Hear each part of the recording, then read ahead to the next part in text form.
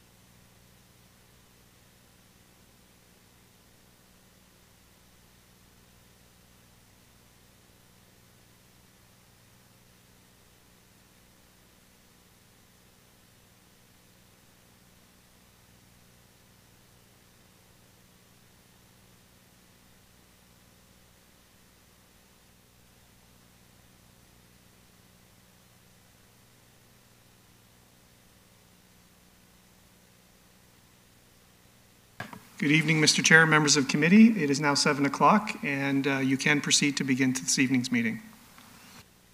Thank you very much, uh, Peter. And uh, we will now to proceed uh, um, to our uh, roll call for attendance at today's virtual meeting of Brampton's Planning and Development Committee.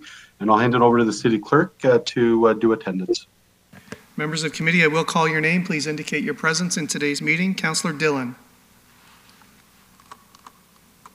Councillor Dhillon, I don't see present at the moment. I'll come back to him. Councillor Singh. Present, and uh, Peter, I'll be switching to my laptop, but just it started updating, just an FYI. Okay, thank you. Councillor Fortini. I'm here, Peter. Thank you. Councillor Williams. Good evening, I'm here. Thank you. Councillor Bowman. Present. Thank you. Councillor Palleschi. Good evening, present. Thank you. Councillor Whillans. I'm present, Peter. Thank you. Councillor Vicente. Present. Thank you. Councillor Santos. Good evening. Thank you. Councillor Dhillon. Uh, And Chair Medeiros is present. We have, uh, I don't see Mayor Brown present or Councillor Dhillon. We have nine members present. Mr. Chair, you have quorum. Thank you very much. Our next item is approval of the agenda. Does any member wish to add a business item for tonight's meeting? Mr. Chair, just uh, if you're looking just for chats, just a few updates uh, for the agenda this evening. Um, There was an item identified on the original agenda as 10.1, an application to amend the official plan zoning bylaw and draft plan of subdivision for Side Estates, KLM Planning Partners in Ward 8. Uh, That item, members will recall, was considered by the City Council last week, March 2nd, and was dealt with through Resolution C043-2022, so that item has been removed from the agenda. I also just wish to point out that we do have uh, a delegation, two delegations under item 6.3 this evening regarding item 8.1, Brampton Heritage Board minutes. There has been a request for one of those delegate, from one of the delegations to proceed prior to the statutory uh, public notice items. I know that has not been the convention of, of this committee, but I'm just raising it for committee's awareness. Okay, thank you uh, very much. Um, So I do not see any additional speakers.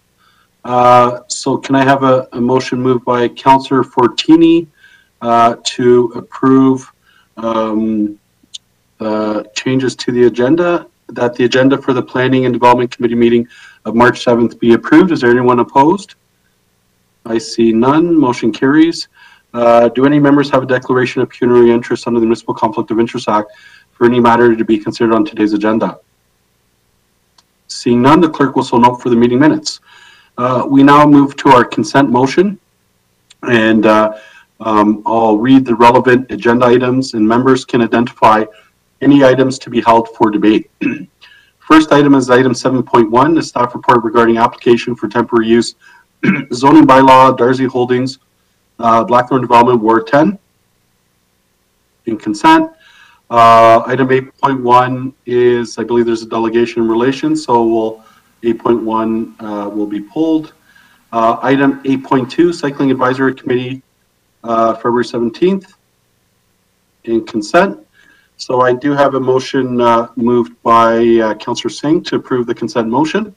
Uh, The following items were considered to be routine and non-controversial by committee and were considered at one time. So I'll hand it over uh, as we uh, agree through this process, uh, that it will be on a recorded vote, and I'll hand it over to our city clerk to uh, administer it.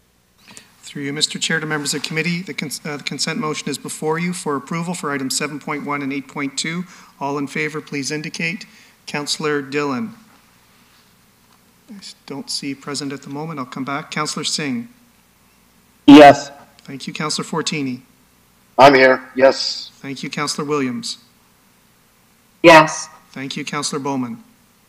Yes. Thank you. Councillor Palleschi. Yes. Thank you. Councillor Whillans. Councillor Whillans. Yes. Thank you. Yes. Thank you. Councillor Vicente. Yes, in favor. Thank you. Councillor Santos. Yes. Thank you. Councillor Dhillon. I don't see us present. And Chair Medeiros. Yes. Uh, That motion carries nine to zero. Thank you. Uh, We we now move on to our statutory public meeting reports.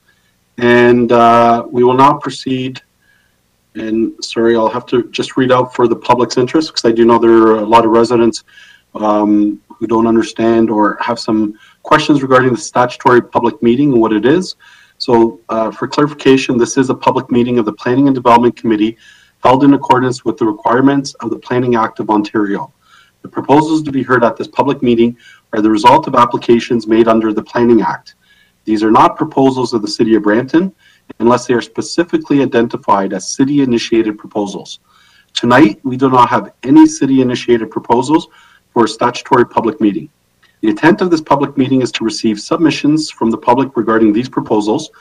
Given we may have persons watching this meeting through the city's live stream, we will have staff present each proposal subject to a statutory public meeting unless committee decides otherwise.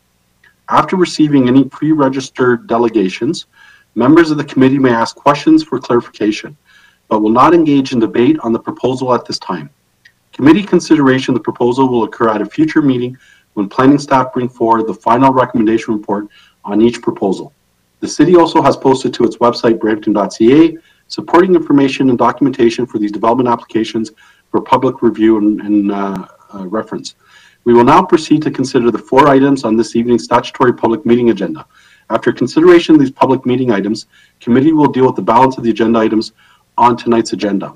Our first item, staff report 5.1, is an application to amend the zoning bylaw proposed draft plan and subdivision, Sorbrand Developments Incorporated, Glen and Associates, Ward 10. And I will now uh, hand it over for a staff presentation from Stephen Dykstra from uh, our uh, Development Planning, Building, and Economic Development uh, Department. Welcome, Stephen.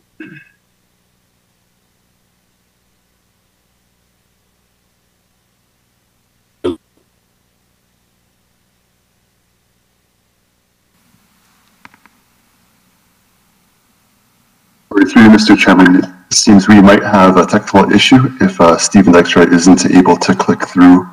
Um, If that is the case, uh, that we'll have one of our planning uh, managers, Stephen Ganesh, report and uh, present the slides on Stephen's behalf. Um, Steve Ganesh, would you mind presenting the the item, please? I can I can do it. I just uh, when my video starts, it uh, really delays me. So I apologize if um, I'm going to have to do this presentation without my video. I hope that's okay. Yeah, and that's fine. Uh, Thank you, Stephen. And uh, this is our new COVID world, so go ahead. Thank you. My connection is not the greatest. So, good evening, uh, Mr. Chair, members of the committee, and the public. My name is Stephen Dykstra, as you can see by my lovely name there. I'm the development planner, and I've been assigned to, to process and review this application, which is to amend the uh, official plan and zoning bylaw, and it's also for a plan of subdivision. As already stated, the purpose of this public meeting is to provide information to the public and seek feedback on the application. No decisions are going to be made at this meeting, and it's for information purposes. This is for file 0048. The applicant is Sorbrum Developments, and the consultant is Glen Schnarr Associates. Next slide, please, Alan. The subject properties are located on the east side of the Gore, approximately halfway between Countryside Drive and Castlemore Road. It's on the east side of Brampton. Next slide. As you can see here, the surrounding land uses to the north, east, and south are currently vacant. These lands are part of a secondary plan, which includes uh, detached dwellings, townhouses, schools, and parkland. These are all part of Area 47. And the lands to the west, west of the Gore Road, are large lot residential dwellings that are existing. Next slide. This is what the applicant is proposing. This proposal is going to require a zoning bylaw amendment uh, to permit the residential uses, as well as a draft plan of subdivision that will create the lots and blocks for the development. Slide.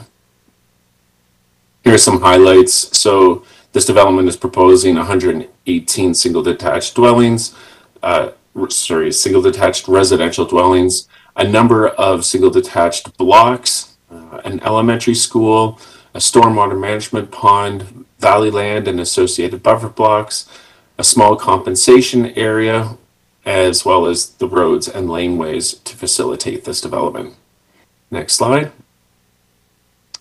This map shows the property owners that are within a 240 limit, and these would have all received notice by direct mail with respect to this application. Notice was also provided in the Brampton Guardian newspaper, and it's also on our website. Next page. In evaluating this application, we'll be looking at it against the existing provincial and municipal policies, including the Planning Act, the provincial policy statement, the growth plan for the Greater Golden Horseshoe, Region of Peel official plan, City of Brampton official plan, and it's not written on there, but the Industrial 427 secondary plan as well. Next page. So this here shows the official plan. It's designated residential and open space. This application is not going to require an open, uh, an official plan amendment. Next slide.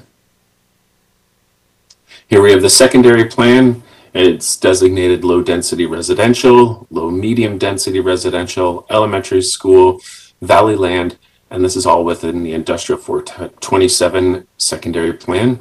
An amendment is not required as it meet as it matches this um, secondary plan. Next slide. And here we have the block plan, which shows uh, that the property is identified as executive residential, low medium density residential, elementary school, stormwater management pond, valley land, and compensation area. This again is part of Industrial 427 Block Plan Area 447-2. No changes are necessary to this plan either. Next slide. Here we have the existing zoning bylaw. It shows that the lands are currently zoned agriculture, which only permits uh, agricultural and a single detached dwelling. An amendment to the zoning bylaw will be required in order to permit the proposed single detached uh, dwellings, townhouse development, as well as the institutional and open spaces. Next slide. And here we are with uh, the uh, steps, the chrono chronologically. Um, the notice of complete application was sent out on February 2nd, 2022. It's been circulated. Notice went out today, March 7th, is the public meeting.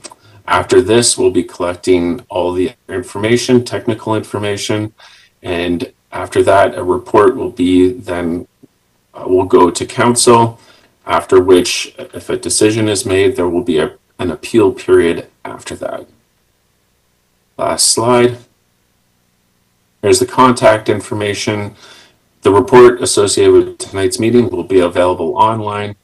And my name is Stephen Dy- Dykstra. My contact information is posted there on the screen.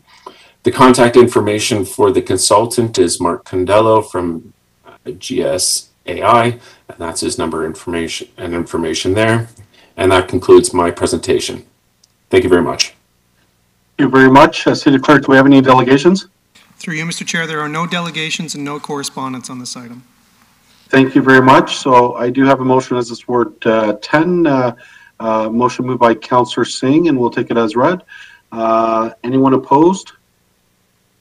I see none, so the motion carries. And we go now to our second item, item 5.2, a staff report regarding application to amend the zoning bylaw. Um, W. uh, Oughtred and Associates, Greenway Real Estate, 5 Copper Road, Ward 3. Uh, And I will welcome, uh, is it, we do have a staff person, my apologies. There was a last minute change, isn't it? So it's not Nicola, it's Natika, right, I believe? Yes. Yes, welcome. Thank you uh, um, from our uh, Planning, Building, and Economic Development Department, and uh, welcome. Thank you so much. Uh, good evening, Mr. Chair, um, committee members, members of the public. My name is Natika Jagtiani, and I'm the planner assigned to process and review this development application. The purpose of this public meeting is to provide information to the public and seek feedback on the application filed by W.E. Oughtred and Associates, Inc. on behalf of Greenway Real Estate, Inc. Next slide, please. The subject sites located on property municipally known as 5 Copper Road and are located to the east of Tomken Road, west of Copper Road, and north of Advance Boulevard. Next slide, please. The applicant has submitted an application for a zoning bylaw amendment to permit the unlimited outdoor storage of trucks and trailers on the property. This use is proposed to be accessory to the existing warehouse and truck transportation uses on the site. Next slide, please. The subject site has the following, um, one slide before, please.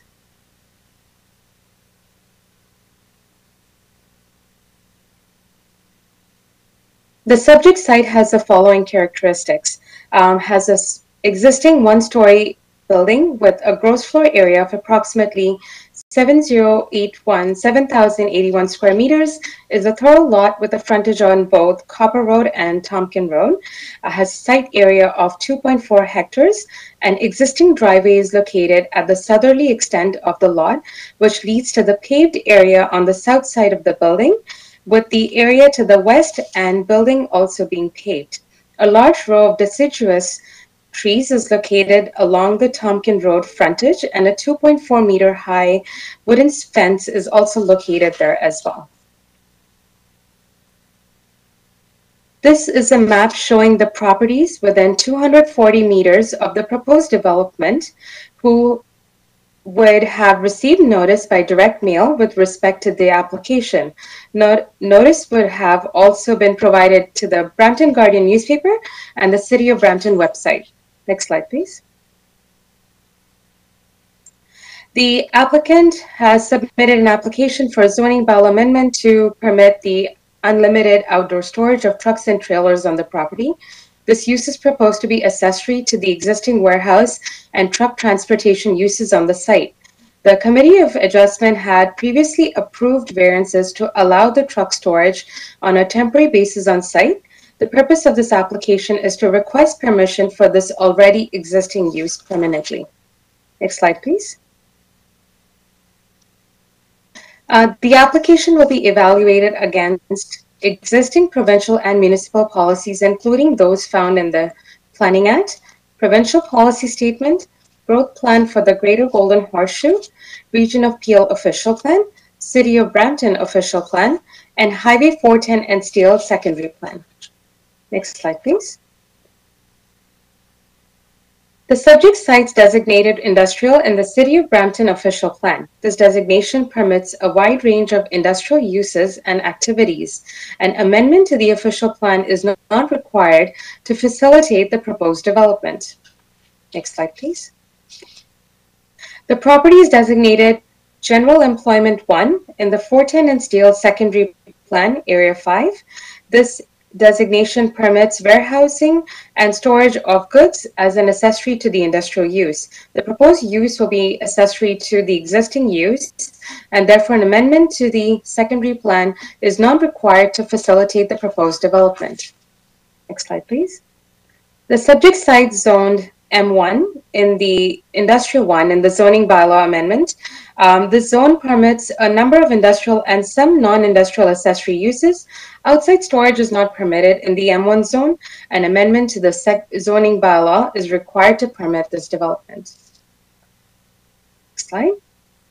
Uh, comments from staff and external commenting agencies are required in order to complete a comprehensive analysis for this application. The following matters to be addressed have been identified at this time through staff's preliminary review of the application. These and any other matters identified through the processing of this application will be addressed in future recommendation report to the Planning and Development Committee. Some issues are need for potential further mitigation to reduce visual impact of trailer storage on adjacent arterial road, which is the Tomken Road, and also the need to reduce, uh, need to limit the size of the area that would be used for outside storage. Next slide, please. This slide shows where the staff are in the review of the application. We're now at the public meeting stage, where committee members and staff are here to listen to any feedback from residents.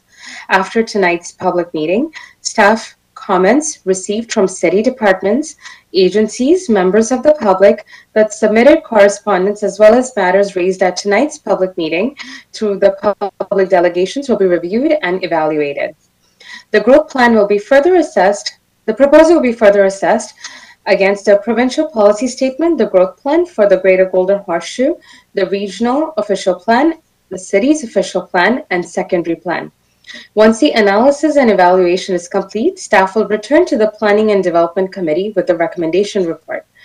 This recommendation report will address all ma- matters raised by the members of the public, external agencies, and other city departments. Anyone that provide their contact information with respect to this application will be advised when a recommendation report will be considered by the committee. Once a decision is made, on the application by City Council, there is an opportunity to appeal the decision at the local planning appeal tribunal. Next slide, please. This report associated with tonight's meeting is available online and the presentation will be available online shortly as well. Again, my name is Natika Jagtiani and my contact information is posted on the screen. Also on screen is the contact information for Arlene Beaumont of WE Oughtred and Associates Inc., who is here tonight representing Greenway Real Estate Inc. Thank you. This concludes my presentation.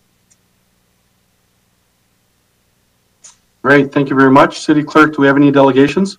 Through you, Mr. Chair, there are no delegations and no correspondence on this item.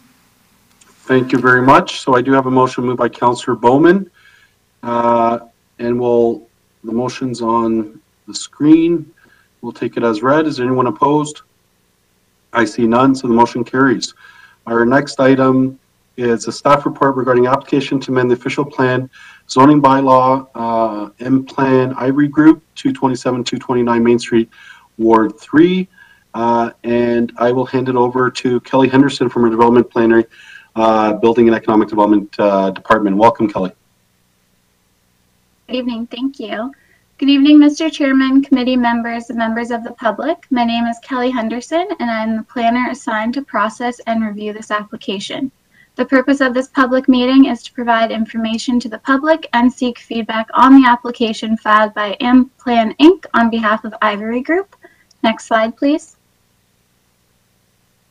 The subject property is located at 227 and 229 Main Street. It's located on the west side of Main Street and north of Charolais Boulevard within Ward 3.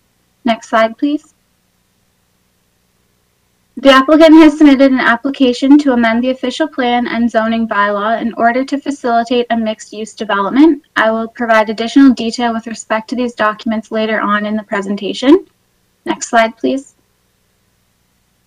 This is a map showing the property owners within a 240 meter limit of the proposed development who would have received notice by direct mail within respect to the application. Notice was also provided in the Brampton Guardian newspaper and the City of Brampton website. Next slide, please. The subject proposal consists of two properties that are currently occupied by commercial buildings and a parking lot. The site is approximately 1.6 acres in size and has a frontage of approximately 92 meters along Main Street and 88 meters along Charolais Boulevard. There's also ongoing work to study extending the LRT to the downtown and that there may be an LRT stop in front of this site in the future. Next slide, please. I'll now get into the specifics of the proposal. The applicant is proposing to develop the site for a mixed-use development which would include 400 residential units and 470 square me- meters of ground floor commercial space. The height of the proposed building is proposed to be 19 and 26 stories with a floor space index of 6.1. Floor space index means the ratio of the floor area to the site area. For example, if your site area was 1,000 square meters and your FSI was 3.5, you would be permitted a 3,500 square meter building. Next slide, please. This is the proposed building elevation. Next slide, please. Prior to finalizing recommendations to Council, this application will be further evaluated for consistency with the Planning Act, Provincial Policy Statement, conformity with the Growth Plan for the Greater Golden Horseshoe, the Region of Peel Official Plan, the City of Brampton Official Plan, and the Brampton Flower Town Secondary Plan. Next slide, please. The lands are designated residential on Schedule A of the official plan. An amendment to the official plan is not required. Next slide. The property is located within the Brampton Flower Town Secondary Plan and is designated neighborhood retail and high density residential. An amendment to the secondary plan is required to facilitate the rep- proposal. Next slide, please.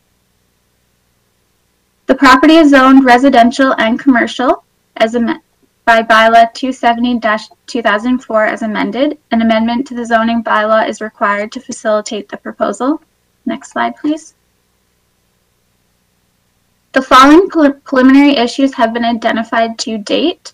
The development proposal must be sensitive to the existing neighborhood context and establish an appropriate transition and physical integration with adjacent properties. The applicant will need to demonstrate through the submission of a shadow impact study and imp- implementation of urban design principles to ensure that the appropriate building setbacks have been considered to mitigate any impacts on the adjacent properties.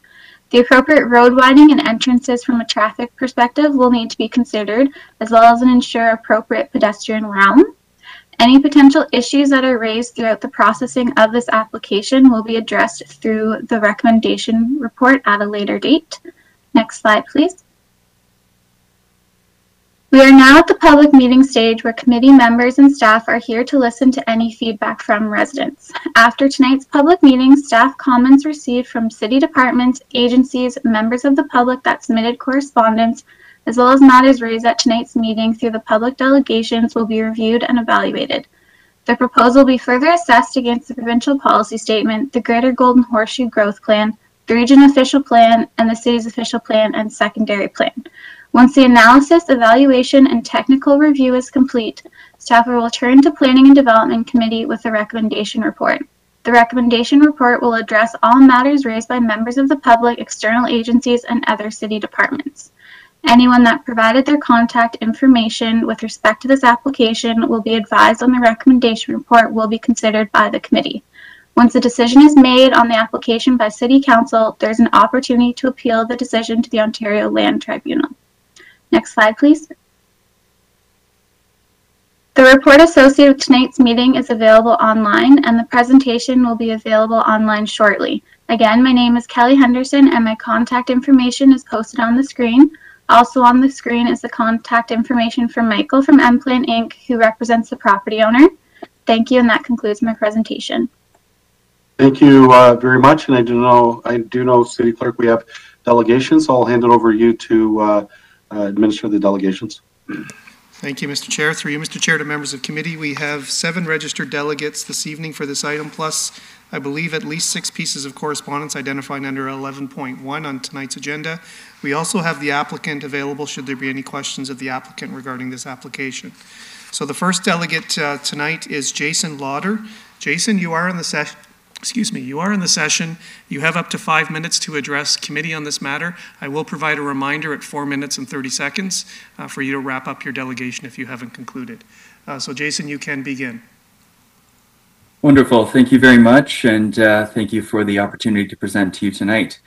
Uh, greetings to city staff and councillors, especially to my Ward 3 and 4 representatives, uh, Councillor Bowman and uh, Mr. Chair, Councillor Medeiros as well.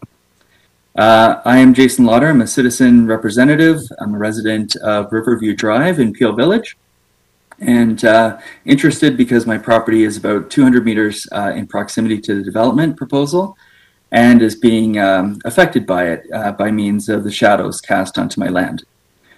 Um, I'd like to start by stating that I'm an enthusiastic supporter of the official Brampton Plan and the city's uh, 2040 vision document uh, I understand the need for uh, implementing smart urban growth strategies uh, to meet projected population growth in the greater Golden Horseshoe region, and also to comply with the provincial government's A Place to Grow uh, initiative. Um, these properties, uh, the subject properties, lie within the designated Gateway Mobility Hub area and the Regional Intensification Corridor, and as such are prime candidates for redevelopment. While we will be losing a building with interesting mid-century architecture and a significant number of mature trees, the need to create 10-minute walkable and livable complete communities is acute.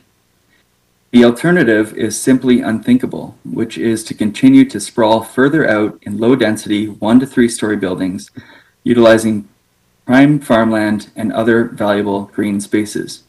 We only have one major greenfield left in Brampton, so the solution to population growth which fuels economic growth is intensification, infill, and brownfield development.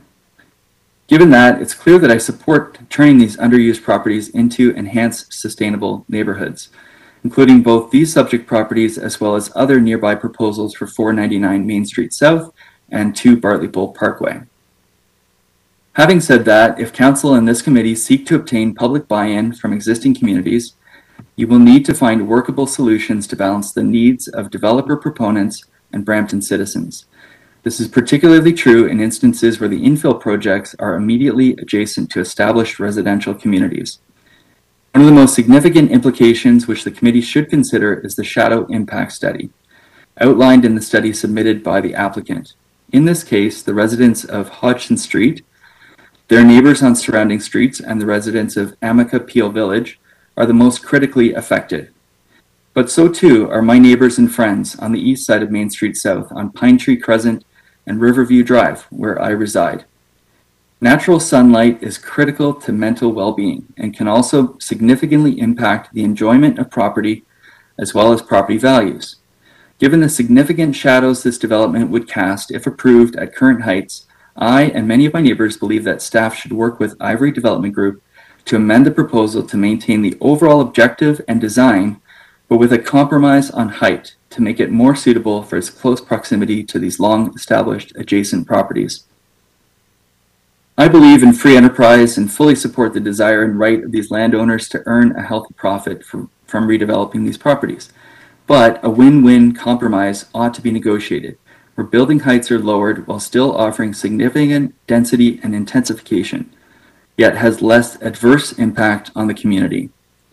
Using a 45 degree angular plane from the western property boundary, a height of approximately 17 stories would be more appropriate. This is still more than double the height of the neighboring retirement residence, but would significantly increase the quality of life of its residents compared to the current 19 and 26 stories proposed. The proposed architectural design, which is rather attractive, would not need major revision. The overall footprint and landscape plan, with its highly appealing bowling green, would remain the same.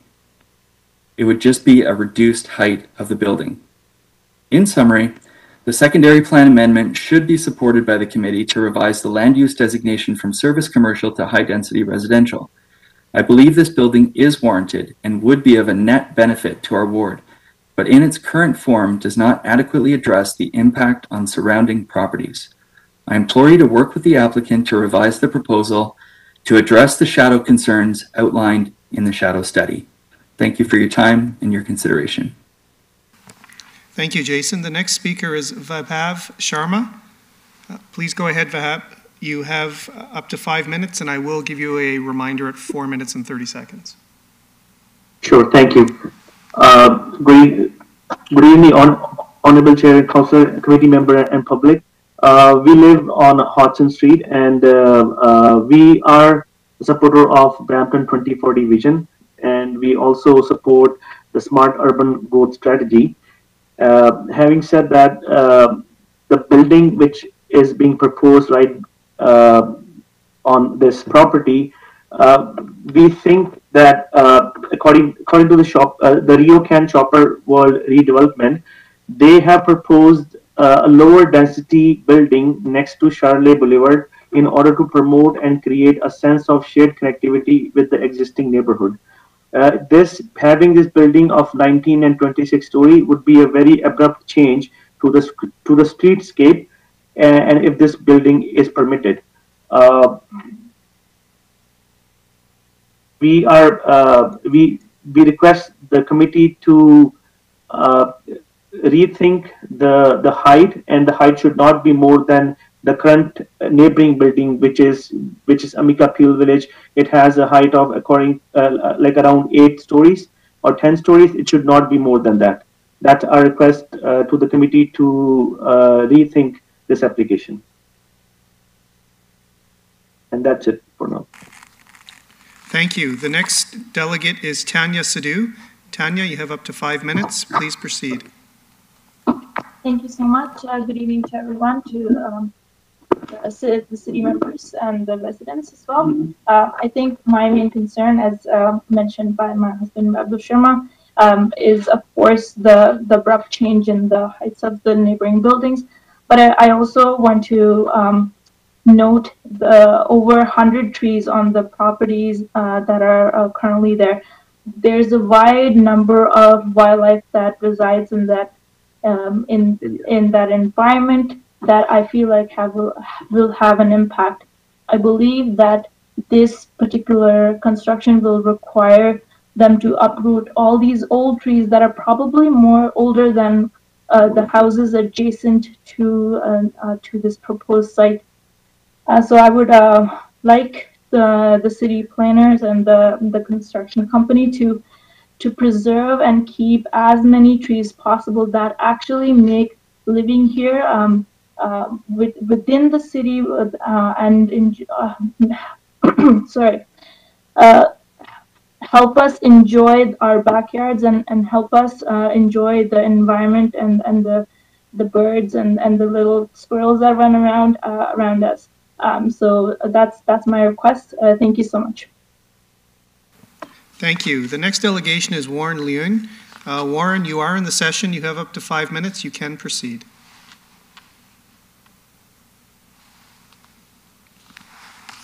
So- So Warren, you can go ahead and unmute your microphone.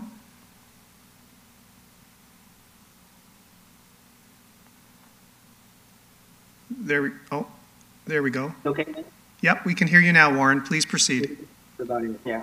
I'm on Seven Hudson Street, right behind the proposed uh, building. I've been living there since uh, 1990 for 32 years, and I've been enjoying the, the quiet life like living in a cottage.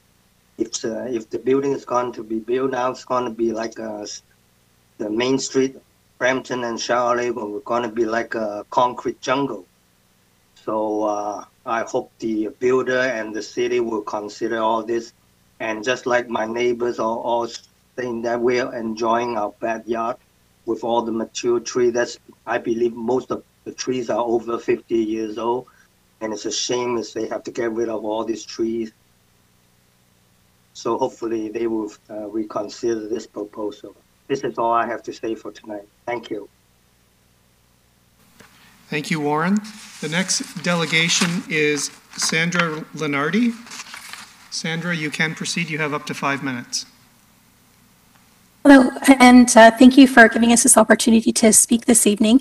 Uh, I'd like to thank our uh, counselors for for uh, representing us, and, and I'd like to repeat, pretty much reiterate what people have already stated. Chief among our concerns are shadow cast by the buildings, the uh, high density nature uh, by this proposal. It's not in keeping with the established neighborhood. It's not going to create uh, a harmonious um, coexistence uh, with the existing neighborhood. It's not in line with the proposed development at uh, 499 Main Street South, which would be uh, more um, uh, in keeping with uh, you know higher density, especially since they're aiming it towards Steeles as opposed to towards the where the existing residential is. Um, other concern, I live on Hodgson Street and the parking on the street. I don't know what the parking ratio is, but uh, I chief concern is if people park on our street and uh, access, you know, take a, a shortcut from our, our street into the the uh, proposed development. And lastly, the environmental impact is already stated. Uh, there's it, it the we've already lost so many trees with the uh, retirement um, development, and they've part of that um, agreement was to uh, ensure that they kept as many trees as possible. And I would like to reiterate how important that is. Uh, I think it was Jason that talked about sunlight and how important that is. Well, so is green space and ensuring that we do have green space, especially along uh, even the, the, the corridor. Um, and now, lastly, my husband's going to be speaking after me, and I'd like to uh, second what uh, support what he's going to be uh, talking about. Oh, and I do have two questions. Will we be notified of um, the next steps as far as recommendations and decisions, and how um, uh, how will that happen, and uh, appeals or like what the the next steps are? Thank you. Thank you, Sandra. The next delegation is Tony Lenardi. Uh, Tony, you can proceed. And uh, Sandra, I guess to your questions through you, Mr. Chair, I guess staff can respond to those questions after the delegations are completed. So Tony, you can proceed. You ha have up to five minutes. Thank you. Thank you for letting me address this committee today. Um, Brampton, as we all know, is a great place to live and is one of the fastest growing communities in Canada, if not the fastest. This is why I think this committee is probably the most important of the city's committees, as this group is at the vanguard of decision making that affects residents, industry, traffic, and economics. This committee knows that Brampton is more than just a city, it's a group of fantastic neighborhoods, and I live on Hodgson Street, and I'm proud to say that for over 30 years, it has been one of the best neighborhoods in the GTA. There are various concerns with, with this application, which at a minimum I suggest requires another public meeting. Some of the issues are administrative, but cause confusion. Confusion such as the public notice that was sent to residents, states that this was for development at 227 and 227, 229 Main Street North, which is more than three kilometers away from the actual location. More pressing is the development at 19 and 26 stories high has a mass and scale which is completely out of scale with the surrounding neighborhood. We need to look at all planning aspects, not just those selected by the proponent. By reading the material submitted, they have only a couple of sentences in their entire application dedicated to describing, quote, six residential dwellings, unquote, at the rear of the site, and do not describe any appropriate transition, nor do they acknowledge the existing stable community that borders this development site. Now let's talk about intensification corridors. The City of Brampton held many workshops to discuss this particular intensification corridor, the Hurontario Main Street corridor, a few years ago. This concluded in a master plan that included height transition areas, including the subject lands, with a limit to a maximum building height of 10 stories. This appropriate planning, sorry, the appropriate planning that went into developing the Hurontario Master Corridor uh, Master Plan has been completely ignored in the application that we see in front of you today. There's no mention of it at all in the materials that I read. For reference, City Council did adopt the master plan into a secondary plan, but only up to Charolais Boulevard, as the LRT was not approved to go through Main Street north of Charolais at that time. Which now I understand that the two preferred routes now align perfectly with the path outlined in the master plan. So I would expect that the principles in the in the master plan would apply going north on Main Street as well. The primary concerns with this development deal with the lack of conformity with the applicable policies and compatibility with adjacent land uses in terms of neighborhood character, associated height, density, massing, scale, privacy, sky view, and overlook. When you look at the full streetscape for Main Street, RioCan to the south has a significant development proposal which has high-rise buildings along Steeles Avenue that scales down in height towards Charolais Boulevard. Having a 26-story building suddenly appear abruptly would not be compatible with the existing development nor the future planned development along Main Street South. We need to remember that this development will share a backyard with existing low low rise residential. There's no road break, nothing. They're going to share a fence between this development and that low low rise uh, residential communities members. Planners at the city have worked hard on the Hurontario Main Street Corridor Plan, which the recommendation report um, should say uh, is relevant. I would hope that they say that those planning principles are still relevant and applicable to this site and should guide the urban design around in this location. The plan clearly shows that this location, this site, is a transition area and should have a maximum height of no more than 10 stories. Many of the local residents have attended meetings with the city and developers in the past. When the Amica Senior Residence Building was being proposed, city staff and councilors at the time were fully aligned with the local residents and reduced the building height to seven stories, which was modified slightly to allow for some for some step backs. So we trust that the city and the staff and the councils will be supportive of the concerns of the stable residential neighborhood and request that the city and applicant involve the community in future discussions regarding the size, mass, and development of this proposal. This would be consistent with what the applicant says in their materials that consultation is a bedrock principle in their view. We request that if the building height is greater than 10 stories high, that another public meeting be held. That's all I have to say for today. Thank you for your time. Thank you, Tony. The next and final delegation is from Ned uh, Mikloska. Uh, Ned, you have up to five minutes to address the committee.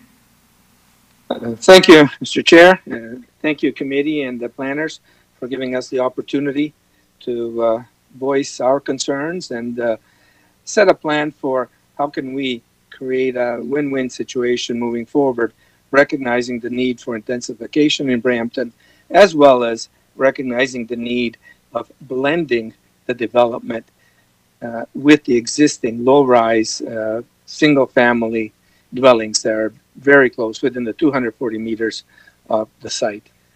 Our uh, all the neighbors of mine and I am located at 17 Hodgson Street. We have been in, the, we have had that house for 21 years now, and have enjoyed the peaceful nature of the neighborhood. And uh, and once again, is what everybody else has said and the sunlight and, and the environment that exists there with the park nearby as well.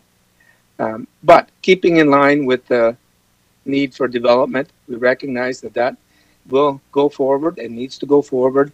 But as all of my neighbors have stated consistently in this presentation, the dramatic increase in height, the dramatic height of this proposed development of 26 stories and 19 stories is really out of line compared to Amica building or to the Shoppers World redevelopment. Uh, and by going with such a tall, high density buildings, there's clearly going to be an impact on the neighborhood from a shadow perspective, from a traffic flow perspective on Hudson Street, from the uh, privacy impact there, if there is not a consideration also the for the transition plan between the building and the remaining houses there on Hudson Street and, and adjacent to it, the shadow impact, the environmental impact. Uh, all of all of our neighbors have in this presentation have said the same thing consistently, and I am now echoing the same concerns uh, as everybody else has so far, and that is of uh, shadow impact on our uh, neighborhood there, the impact of the dramatic height of the two proposed buildings and no transition zone, no step down zone to the neighboring houses. And also um, the fact that it's not aligned with Amica building and also aligned with the Shoppers World Development. So I look forward to the committee and the planners taking that into consideration and, and taking all of our input into consideration. And as uh, Mr. Lasardi, uh, Tony has said, there definitely should be another follow-up meeting uh, on, on this matter. Thank you. Thank you, Ned. And Mr. Chair, uh, my apologies, we do have one more delegation from Arshdeep Singh. Uh, Arshdeep, you are in the session. You have up to five minutes. You can unmute your mic to address the committee on this matter. Please proceed. Hi, good evening to uh, City Councilor and public. Uh, thank you for giving us the opportunity to speak at this forum. Uh, and I support the city's 2040 vision and I appreciate the city's uh, endeavors in new housing. Uh, that being said, uh, many of my concerns were well put together by by Jason, Tony, Ned, and Bevel. Uh, and adding to that, uh, so since we are living at uh, right next to the construction that will be happening, uh, not, it will not only affect the sunlight but also privacy, privacy for our backyards, since it will be right next to our backyards. And one more thing I want to add is uh, uh, the construction near this proximity to our homes um, like has a higher chance of introducing cracks in the foundation. So, is there a set plan to address this concern? Uh, yeah, uh, I'll just wrap it up. Uh, that'll be all from me. Thank you, Arshdeep. And Mr. Chair, that concludes the delegations for this item. Thank you, Mr. Chairman. Alan Parsons here, uh, Director of Development Services. Wa- Wondering, Mr. Chairman, if you would like for me to respond just to the question about uh, involving and engaging the the residents about a future recommendation report? Yeah, thank you very much. Uh, that'd be great. Thank you, Alan. Yeah, thank you, Mr. Chairman. And through to the, the residents that have uh, spoken tonight, yeah, thank you everybody for, for your comments. Uh, all, all comments will be considered uh, alongside the technical review that will be ongoing with this development application. Uh, really through the review of, of all the comments received tonight and uh, the contact information for, for the residents that spoke tonight, uh, together with any other further correspondence that's, uh, that is received from other residents as we continue to, to process the application uh, as, as city staff is, is completing those steps. We will be sure to reach out and contact all the, the residents that we have heard from uh, that have noted their, their interest in the application and uh, make them aware of when it is that a recommendation report will be coming at a future point in time uh, through to the planning committee uh, from, from staff. And uh, that, that will occur uh, likely in uh, a, a number of months' time so that staff will, will need time to, to review all of that detailed technical information and all of these, these types of issues. I, I can also further advise, Mr. Chairman, that uh, the public notice for, for the item, uh, it had noted the, the correct address uh, for the subject site. Uh, there was, though, a supplementary uh, piece of information that identified the, the COVID protocols for this meeting that did also have the address for for the site, but there it was it was incorrectly noted as as north. Um, I, I can advise further that the uh, the notice uh, has gone out through mailing through to all the, the landowners within a, a 220 meter uh, setback from the subject property, as well as the, the Brampton Guardian, uh, as well as on the city's website and through a, a posting on the property as well. Uh, so really with, within the, the different publications and the, the posting and such, you know, staff does feel that uh, that appropriate public notice was was received uh, and and uh, and put out through to the residents. We we will be working with uh, the applicants further and uh, trying to un- understand and discuss uh, some potential uh, considerations that the applicant can have for additional public meetings, informal public meetings, but but that that'll be subject to, to dialogue with the applicant. Thank you, Mr. Chairman. Thank you, Alan, for the explanation. Members of the committee, are there any questions or of clarification? I see none, so I do have a motion uh, moved by uh, Councillor Bowman uh, to accept the report, and I see we'll see the motion on the screen, so I'll take it as read, but also to move correspondence and the delegations. Is there anyone opposed? I see none, so the motion carries. We now move on to our next item, item 5.4, application to amend the official plan and zoning bylaw, uh, GS, uh, GSI, uh, Umbria Developers Incorporated, southwest corner of Chinguacousy Road in Bonnie Braes Drive, Ward 4. And I will now welcome um, our staff, uh, Rob Nick Fortune, and welcome Rob uh, from the Planning, Building, Economic Development Committee, uh, uh, Department, sorry. Okay.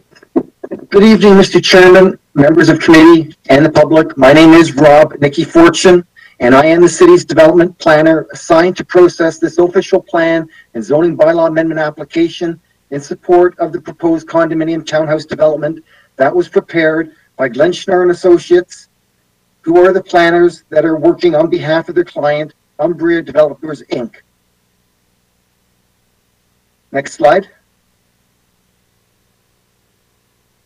The lands subject to this development application are located on the southwest corner of Chinguacousy Road and Bonnie Braes Drive uh, within Brampton's uh, Ward 4 area. Next slide. Following map is an aerial view of the subject lands and illustrates that the property has direct road frontages on all four sides. Directly abutting the subject property to the south are five residential lots containing single-family detached dwellings that front onto Proud Court. The adjacent residential lands to the north and west also contain single detached dwellings.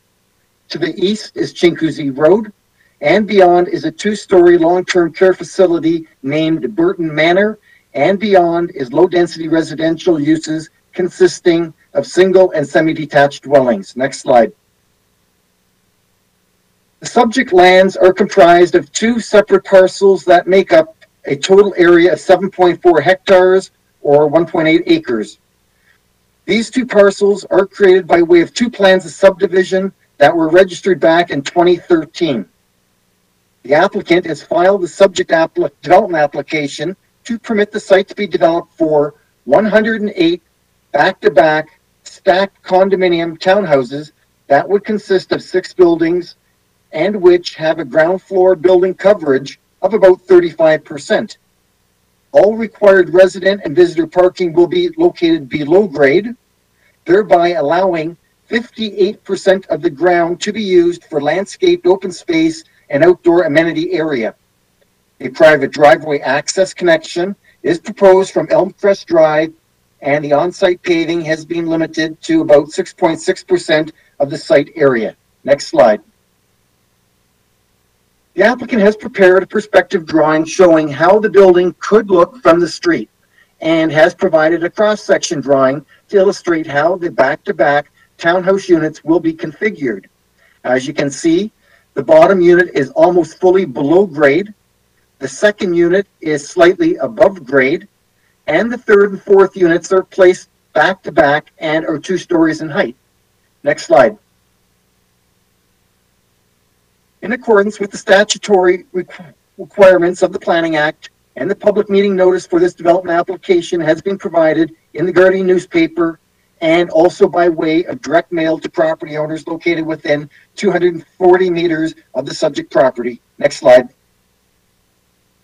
The application will be evaluated against the existing provincial and municipal policies, including those found in the provincial, in the P- Planning Act, the provincial policy statement, the growth plan for the Greater Golden Horseshoe, the Region of Peel official plan, the City of Brampton official plan, and the Credit Valley secondary plan.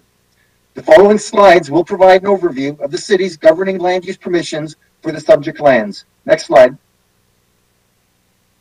The City's official plan sets out the necessary goals, objectives, and policies to guide development in Brampton.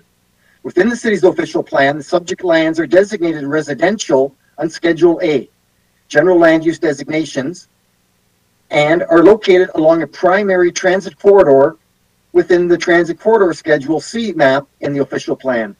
In addition, the subject lands and the adjacent area are located within the communities and designated greenfield area within the city concept Schedule 1 map in the official plan. The official plan requires that lands that are designated for residential purposes provide development that promotes vibrant, sustainable, and accessible residential communities which accommodate a variety of housing forms, tenure, a mix of uses, attractive streetscapes, walkable pedestrian environment, in order to create an overall high-quality public realm. Um, uh, next slide, please. Within the sec, sorry, within the Credit Valley Secondary Plan, the majority of the property is designated institutional place of worship, and a small portion of the sub, southeasterly corner of the site is designated low-density residential two. The place of worship policies requires that the lands be reserved for a period of three years from the date of subdivision registration and shall be duly zoned to allow for either a place of worship or low-density residential two purposes. After three years, the applicant is then allowed to rezone the lands to permit other suitable alternate residential uses that is consistent with the adjacent residential development. As previously noted, both blocks have since been held in excess of the three years requirement. Next slide. The applicant is proposing to amend the area secondary plan by redesignating the lands for site-specific medium-density residential two, which allows for the proposed density. Next slide. This is an extract of the approved Credit Valley Secondary Plan, Block Plan Area 45-5, which also identifies the subject lands as a place of worship. Next slide, please. The applicant is proposing to amend this block plan schedule by deleting the place of worship designation from this plan. Next slide. The zoning, the subject property has been zoned with two site-specific institutional zone categories to implement the existing official plan and area secondary plan policies. The northerly institutional one, section 2105 zone currently allows for a three-story institutional building that can accommodate a place of worship and school and or a daycare center. The southerly institutional one section 2326 zone currently allows for either a three-story place of worship building or a two-story townhouse development. I didn't note here, but you could also have a group home on either of these lands that could be three stories in height. Uh, next slide. Through the processing of this um, uh, application, um, the uh, following issues have been identified. Actually, I'm sorry, the, the lands are going to be zoned with a site-specific uh, uh, uh, institutional zone category to allow for the proposed use. So next slide, please. Uh, through the processing of this application, the following issues have been identified and will require follow-up in the future planning recommendation report. First, the proposed condominium townhouse development will need to be assessed with regards to the land use compatibility, noise, and building interface with the adjacent residential development. Second, staff will need to assess the potential density increase and the potential impact on the schools, park, traffic, and servicing infrastructure within this area. Third, staff will need to assess the appropriateness of the proposed building design and the zoning standards that are being proposed. Next slide. The purpose of this public meeting is to provide you, the public, with an opportunity to comment on this proposal, and any comments received this evening will then be used in the preparation of a future recommendation report that will be forwarded back to Planning and Development Committee. All members of the public that provide their contact information for this application will be advised when the future recommendation report will be presented. I am still in the process of collecting comments and information for this development application from the internal and external departments and agencies. A recommendation report will only proceed once all technical matters have been reviewed. Next slide, please. Both the public meeting slides shown here tonight and the planning information report for this development application and uh, the slides can and will be found online on the city's website. The final recommendation report will be posted online one week prior to the planning committee meeting. Should you have any questions or require greater clarification on this project, you can either contact myself or the applicant's planning consultant, Mr. Jason Afonso of Glen Schnarr Associates, noted here. And uh, Mr. Chairman, this concludes my presentation. Thank you very much, and uh, I'll hand it over to the city clerk. I do know we have uh, um, some delegations, so uh, city clerk. Through you, Mr. Chair, members of committee, we have 12 registered delegations for this item this evening. Also, the applicant is present should there be any questions of the applicant from members of committee, and we have a number of pieces of correspondence under item 11.2. So starting with our delegations, uh, the first delegation is from Jayant Patel, Uh, Jayant, you are in the session. You have up to five minutes, and I will give you a reminder at four minutes and 30 seconds. Uh, good evening, everyone. Um, this is Jayant Patel, and I, li- I live in the neighborhood. I'm not within 20, 240 meters of the area, uh, but this is the road, Elmcrest Drive, that I use um, every day. And first of all, I want to thank you, Mr. Martin Medeiros, Mr. Jeff, Jeff Bowman, our councillors, as well as Rob uh, Nykyforchyn, for um, assisting with this information and uh, arranging this uh, uh, this meeting as well.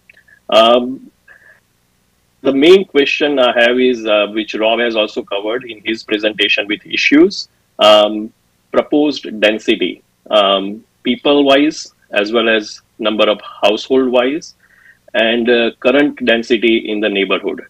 Uh, that should be more aligned. That is one of the one of the main challenge we have. Uh, even Rob mentioned in his presentation, traffic, schools, parks, um, business plazas in the area, how will all these be able to cope with uh, 108 households? Um, if anyone has uh, any of the um, city councillors or um, any of the city staff lives in the area and has traveled to Dust Drive Plaza, you would all know that it is so crowded and so not well planned, in my opinion. Um, increasing 108 households in this area will further mess up the whole uh, neighborhood, in my opinion. Even zoning wise, I would say that um, when it was proposed as institutional zoning originally, as, per Credit Valley plan, um, I, I, would say that whoever envisioned that, they, they, they understood the community. Community is not only made up of um, uh, people, but also made up of uh, many services that community needs, as well as the nature environment. And um, as soon as you in, uh, as soon as you increase so many households, it's not fair to them who are moving into this neighborhood, and it's not fair to any of the neighbors living in this area, any of the flora and fauna in the area that um, um, that that will uh, be impacted, and especially negatively. I would suggest that you know currently based on the density in the neighborhood, there should be maximum 10 to 20 houses that should be permitted in case zoning is to be changed to residential. Uh, more than that, uh, would not make sense. And also, some if, if it was to be institutional, then there should be a facility like fitness center or mental health center or recreation center, something something like that. That's my proposal. Um, uh, I'm pretty sure that the other residents would like to uh, say more. And I again, thank you for the time. Thank you, Jayant. The next registered delegate was Gurinder Singh Sani. Uh, we don't see Gurinder present, so we'll move on. The next delegation is Bisman Kaur.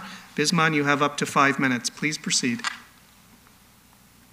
Uh, hi, thank you. Um, my name is Bisman Gore, and I am a proud resident of Brampton. I am at this meeting today to voice my support of the zoning bylaw amendment for 8680 Chinguacousy Road. I believe that this proposed medium density residential development is a necessary step for solving the ongoing housing crisis and building a better Brampton.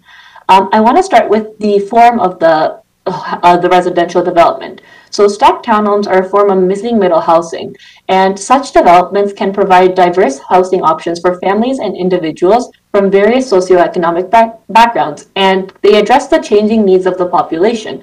To solve the ongoing housing crisis, we need to ensure that there are affordable options within the reach of existing and future residents.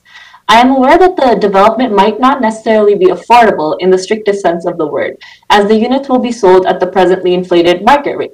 However, single family detached homes, semi detached homes, and even townhomes are out of reach for hard working residents of Brampton.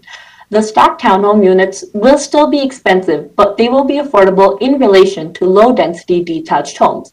There is a high demand for such housing in Brampton, and the existing supply of townhomes is insufficient for the increasing demand, which is why the average market rate keeps rising on a daily basis. Creating more supply of the missing middle housing that meets the needs of the population will help control the unreasonable increase of home prices in Brampton. Furthermore, the proposed development includes an underground parking garage for cars, therefore further increasing supply by maximizing the number of units that can be built above ground. This is a positive shift from the current system that prioritizes housing for cars with above ground garages and paved driveways over housing for people. Changes in these physical structures can lead to changes in attitudes on a community-wide level. We can reclaim our streets from cars and return them to the people of the community.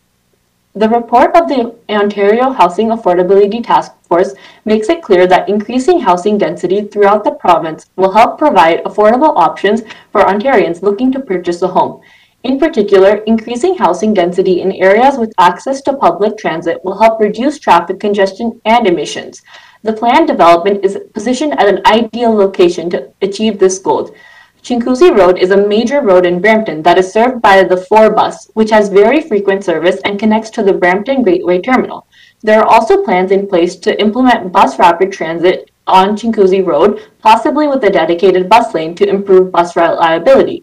The development is also within walking distance of Queen Street West, which is served by the number one bus that connects to both Mount Pleasant GO Station and Brampton GO Station.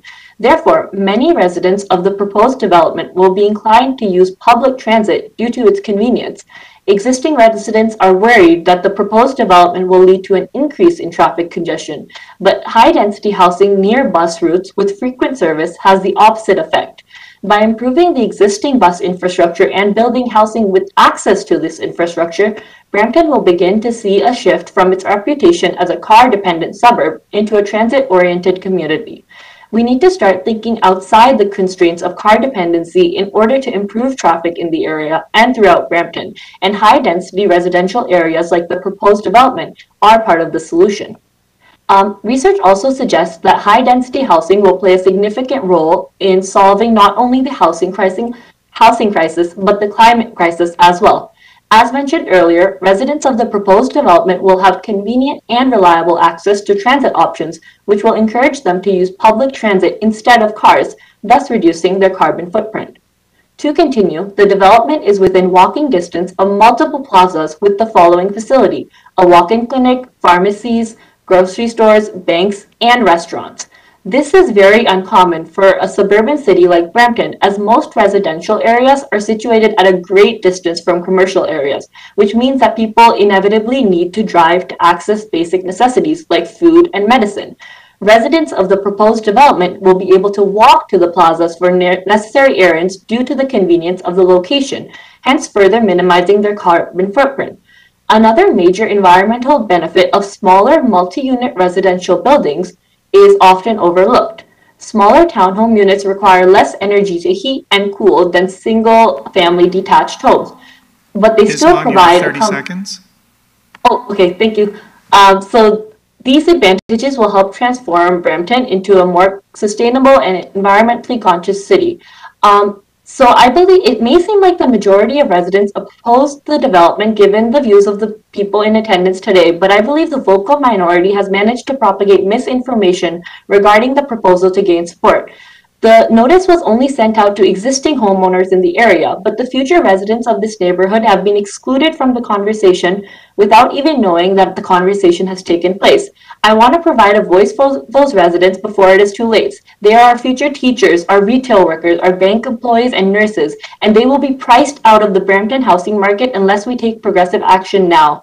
If the city continues to submit to the demands of the vocal minority in support of exclusionary zoning, Brampton will not flourish. I hope you will consider my defense of the proposed development before making a final decision on the bylaw amendment. Let's welcome more neighbors into our community and build a more inclusive Brampton for all. Thank you for listening. Thank you, Bisman. The next registered delegate was Mandeep Hayer. Mandeep has withdrawn uh, uh, the, de the delegation. So the next delegation is Kartik Patel. And there is an audio delegation from Kartik, and we are just going to bring it up momentarily.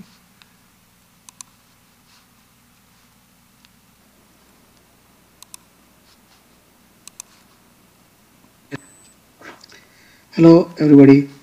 I would like to propose my suggestions and my concerns regarding upcoming community development, which I see as a biggest concern for our existing residents. When we buy these properties five, six years before, this place was uh, as an institutional use. And then this is the way it turns out to be more dense housing, which brings our, affect our life at peace and our community, our children, school, traffic, our safety is all affected. So I would like to see that uh, city realizes the real need for the residents and the community, which I would suggest. The schools are already crowded. The existing residents cannot even get admissions, and these upcoming residents will bring more load. The pub community services like park, recreation center, uh, uh, and uh, library, these all are overcrowded already. The day, first thing I would suggest is um, we need uh, community centers or like library or indoor playground, something that communicate community get benefit out of it. And um, the biggest problem is childcare center in this neighborhood either. There is no childcare center for school going kids. So we should think about that. And um, during weekend and uh, holidays, the state park will be full because of the heavy residents. Now that will be add more issues for the residents also. Which there is one thing I see in here is from intersection of Steeles and Chinguacousy to Steele and Chinguacousy to um, Williams Parkway and Mississauga Road. There is no community center or library for anything that community can uh, need for their life. The city has to consider about that. I would like to add some other concerns which the there is already two empty areas by Bonnie Braes and James Potter, north side and south side, which is already high residence, like a dense residence permit already. That will add all the issues what we're talking about that. Now, the builder office, which is located on Chinguacousy Road, south of uh, Bonnie Braes Drive, which also vacant land. There will be more dense house probably can come, just like what coming now. Also, north of Bonnie Braes Drive and south of Chinguacousy, there are few old residents which going to be turned out to be new residents, which will be heavy residents also, or dense residents. Think about those upcoming place can make this place how dense and how much is going to affect, including this project. So not only considering this project, but all the other upcoming project, we have to realize now how we move ahead. And we want to make this city safe and uh, pleasure and more exciting to live for residents. And understanding, re realize of community, how they can uh, develop and the Brampton will be the best city can be in the Ontario. So we have to realize those uh, problem with what we're trying to bring and achieve and support the need of the real community.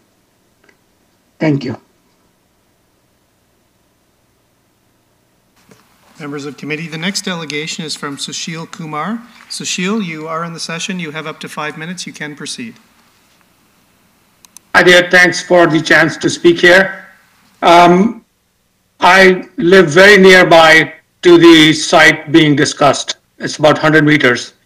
And I work and I take my children to school day in, day out. And I know the real problems of this city, of this area, actually, I would say where I see when you go and drop your child to school on a bad day or a rainy day or a snowy day, you'll see so many cars lined up.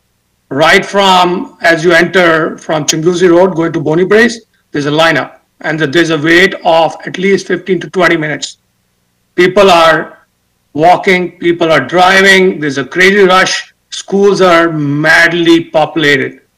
We have no space in school at all and this low density, so-called low density is not actually a good proposal. I oppose it as this is going to ruin the people who are going to come and live here. And these houses will not be very cheap. These are out of the reach of the people who are thinking that condominiums are within a reachable limit. And think about hospitals. There's already a wait of hours when you go to an emergency. There's no way we can have a low density housing of 108 units times the people living in there, which will be overpopulated. It's a population explosion. And as I said, schools, safety in school zones, the traffic is mad. People are getting bumped into each other. Day before yesterday, I was rear-ended on the same street, Bonnie Place. So people do not have time in the morning. Traffic is going crazy. Noise pollution. There are all kind of pollutions which will come up. Noise pollution, water pollution, land pollution, and then you talk about walkable distance uh, of certain grocery stores. They're already full. There's not many. There are walk-in clinics. There's hours of wait there. People are already suffering. If you make these pigeonholes here, those people will suffer too. If this plan was done about 10 years ago, I don't think this is a good plan now. A place of worship is place of worship which was proposed before was an ideal idea, which is non-profit organization. If something which could replace as a non-profit organization, that will be much more beneficial, where community can get some advantage out of it, where communities can thrive instead of making this as a jungle of buildings and people start suffering. We've already seen how downtowns, urban places are. This is becoming another mad rush place.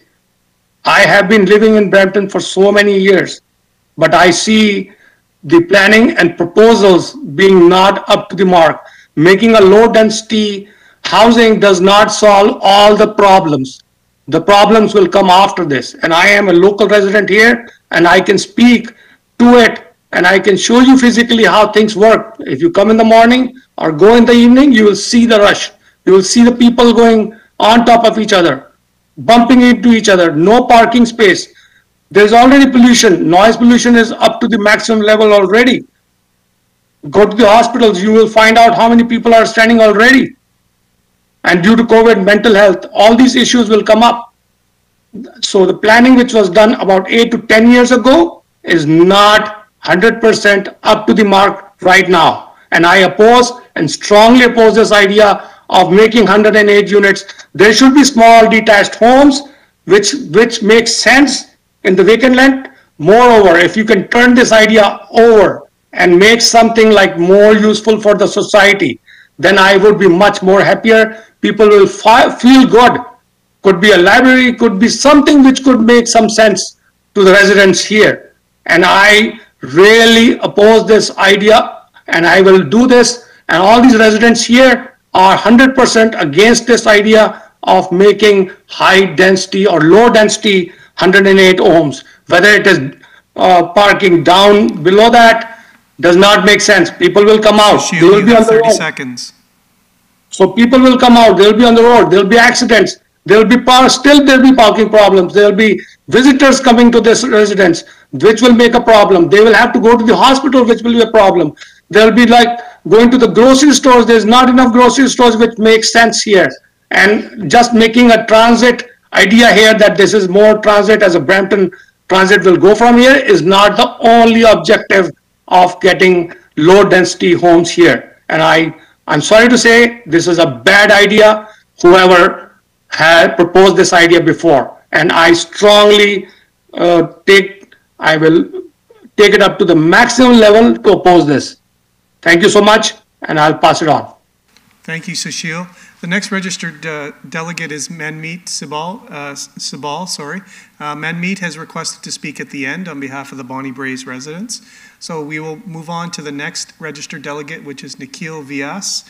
Uh, Nikhil, you have up to five minutes to address the committee. Hello, good evening. Uh,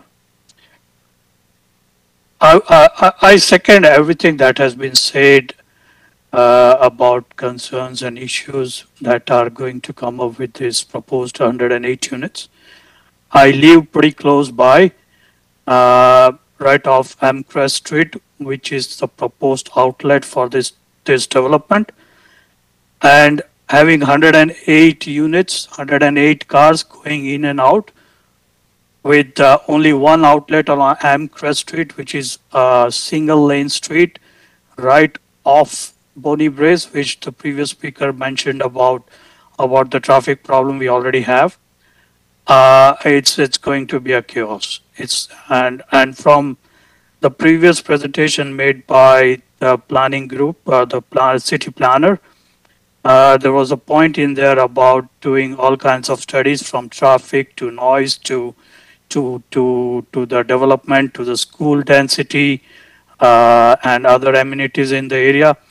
I would like to know when that study will be available and will the public will have another chance of reviewing it and criti- critiquing it and coming up with more amicable solution instead of this 108 units. Uh, of course, the school is a problem. The, the wait list at the local doctor's offices is a problem. The, if you try to go into one of these plazas around this, which one of the speaker was praising a lot, that it's walkable. Yeah, it, it is walkable, but you can't walk. The, the, the parking lots are full. You have to watch out yourself. There have been re, uh, reported accidents in those plazas. At the same time, there have been many accidents on uh, Bonnie Braes at the intersection of Bonnie Braes and Amcrest, right where this proposal is being talked about, and of course at the intersection of Bonnie Braes and Chinguacousy. So traffic is going to be a problem. The, the, the landscaping seems to be a big percentage of 50% of the ground coverage, but would that be enough? You're looking at at least 200 kids in these 108 units. Where are these kids going to play? Where are these kids going to go to park? Where are these kids going to go to school? The school is already full. The only catchment area uh, school that we have in this area is Churchville, and that uh, school already has students sitting in the containers. So, are we going to ghettoize this residential neighborhood even more than already it is? And mind you, you also have to keep in mind that there are many houses which have uh, basement dwellers and you don't count those numbers in all this development. So though these are low, uh, low density housing units, but in all intention and purpose, you can might as well call it medium density if you account for the basement people living in the people's basement. So I think if, if the city planning uh, team can come up with all these studies and reports uh, uh and uh, and have the public another opportunity to look at it before any conclusion is made on this file. And what I would like to also understand is what would be the criteria or threshold values used for all these studies uh, and and how it will be reflected when the studies are done as a conclusion and recommendation for this file. Thank you. Thank you, Nikhil. Uh, the next registered delegation is from Gurpinder Hunjan. Uh, Gurpinder, you have up to five minutes. You can proceed. Uh, hello, uh, good evening, uh, everyone. I hope you can uh, hear me loud and clear. As my fellow, you know, neighborhood friends already already mentioned, I also have some more points uh, in there. The the the if you see the area there, you know, it's all detached houses in the neighborhood so making 108 stacked down houses, aesthetically, you, you, take a look, you know, I've been living in Brampton for last 17 years. This is a beautiful city to live in. And, you know, I have a plan to live in this city uh, in the future as well. But if you make like pigeon houses like these, uh, I mean, uh, it, it disturbs the, the, not only the flora and fauna, but also the aesthetics of the, of the city uh, and and you know when I purchased my house here, like uh, from the builder, Fieldgate Homes, there was a big board there. It says uh, a place of worship will be uh, built here, right? So so uh, later on, okay, it was told to us, you know, uh, that place of worship or or a low density, uh, less uh, less density, whatever low density houses will be built here. But to see a plan of 108 houses back to back with no backyard, what kind of uh, I mean, uh, this proposal, I, I totally you know uh, I agree with uh, Sushil, you know my fellow friend he already said we'll go you know oppose it. it's not a it's not a good plan. Um, uh, right now, you know, if you take a left turn coming north on Chinguacousy, Bonnie Braes, you take left turn. Right now, it's uh, so dangerous. It's a one-lane road there, and uh, with 108 houses, like probably 200 more, 200, 300 cars more, uh, we're gonna end up in accidents. And plus, people will park on the streets, and they're one one lane. You, take a look at Bonnie Braes, so one lane up to Elmcrest so it's going to be a mess. It's not going to be a livable city anymore. So I humble request with folded hands, let this be a uh, livable city and, uh, you know, do something. Please do something. Uh, uh make if you want to make houses, you know, uh, keeping uh, keeping view of the neighborhood, how the houses are already built, and go and gel and mix with the with the with the structural, you know, layout of the houses don't disturb it for the sake of I don't know it's a greed or money. Uh, I, am I'm sorry, but I'm going to be honest. So that's one. And then schools. When these kids, you know, the 108 people, uh, 108 houses, people will move in. They will have kids, right? They go to schools, and uh, it's going to be chaos in the schools. Like 23 people or 24, uh, 24 students in the school are allowed. So, are we? Are, is there a plan of more schooling here? Um, plus, you know, um, as I already said, the the parking on the streets, uh, plus the pollution hazard. Um, so many people will come with no backyard, so they're gonna be on the streets, you know, especially in the summer, walking around. There's a lot of people on the road, so all chances of uh, cars hitting the people and all that. So, not a good idea again. Um, yeah, th those are the points I have, and uh, you know, I hope uh, um, the the study with the proposed plan would have been done, uh, not to overload overload our uh, stormwater drain system, our uh, you know. any any overload on the sewerage, all, all, those points probably will need to be taken care of. So I, I, I, again, in the end, I thank given the opportunity, and you know, I hope uh, our, our request will be heard. Thank you. Thank you. The next registered delegation is uh, Harmandeep Ray. Harmandeep, you have up to five minutes to address the committee. Please proceed. Thank you. Um, yeah, so I also agree with the last two callers as well in regards to the traffic situation and also the number of units being proposed in this area. Um, so uh, the first item I the first item I wanted to touch upon is um, so based on this file and the attachments that are um, attached to this file, um, it shows that the last traffic study that was performed in the area was in uh, 2018 and 2019. Um, so what we wanted to know is, will a new traffic study be requested uh, based on the fact that there's been new developments on Allegro Drive, which also exit onto Braes, which will be adding uh, traffic as well once th those units are 100% occupied, um, as uh, the parking spots for this unit are going to be 184, of which 162 will be for the residents. Um, and the second uh, point I want to um, touch upon is just in terms of the zoning. So I actually live on Proud Court, so my house will be backing onto the site in question. Um, so um, uh, the, first time I want to touch upon is uh, in terms of the change to the zoning, because um, this was initially zoned for low density two, and I believe it's being proposed to switch to medium density two.